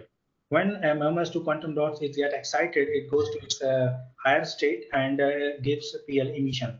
But presence of a Fe3 plus ion, this Fe3 plus ion get bounded, make a complex formation in its ground state. And when we excite this complex, it goes to its excited state. But when while relaxing, uh, while uh, during its relaxation, it follows a non-radiative process. So its fluorescence get quenched. So uh, summary of uh, my presentation, I can summarize like uh, we have synthesized this MOS2 quantum dots using a bottom-up and fissile hydrothermal method. Our synthesized quantum dots are pH sensitive, so it could be used as a pH sensor. And this pH sensitivity comes from the surface constellation, and uh, it could be used for in vivo bioimaging, and uh, it is also uh, it could be also used for metal ion sensing. So conclusion is that by changing the surface environment, we can make our MOS2 quantum dots sensitive to a particular biomolecule or particular uh, micromolecule. So uh, these quantum dots can be used uh, as a sensor. Uh, so uh, these are the acknowledgement. I'm uh, highly thankful to my PhD supervisor that that I presented here. All all these are my PhD works, and I express my gratitude to my lab mates during my PhD. They helped me a lot and I'm also thankful to my collaborator. Like uh, in bioimaging, I'm thankful to Professor Sri Krishna, Department of Biochemistry, Banaras University. Thank you for your kind attention. Thank you. Thank, Thank you, Dr. Mansu Misra, for nice talk. Now it is time to conclude the session. I invite Dr. Sesa Sai Raman to conclude this session. Thank you, sir. Thank you. Thank you, Professor Verma. Thank you for Dr. Verma. Can you take off your video? Okay.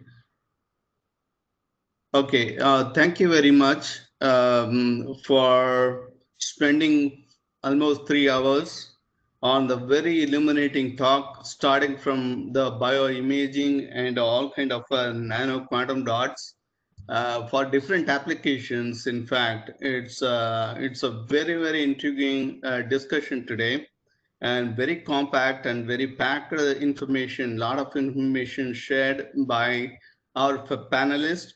First of all, I would like to thank all our panelists who agreed and also willing to share all the information that would be helpful for all students, faculty, and researchers.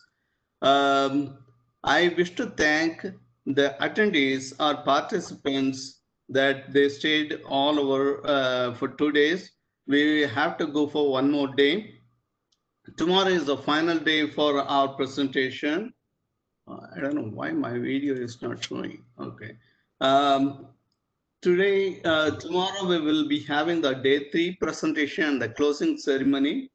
Uh, day three, we will start with uh, the introductions, welcome address by Professor Verma. And uh, we have uh, eminent speakers, Dr. Shobna Chowdhury from CSIR, NISCAIR, New Delhi. She will be talking about, senior, she is a senior scientist.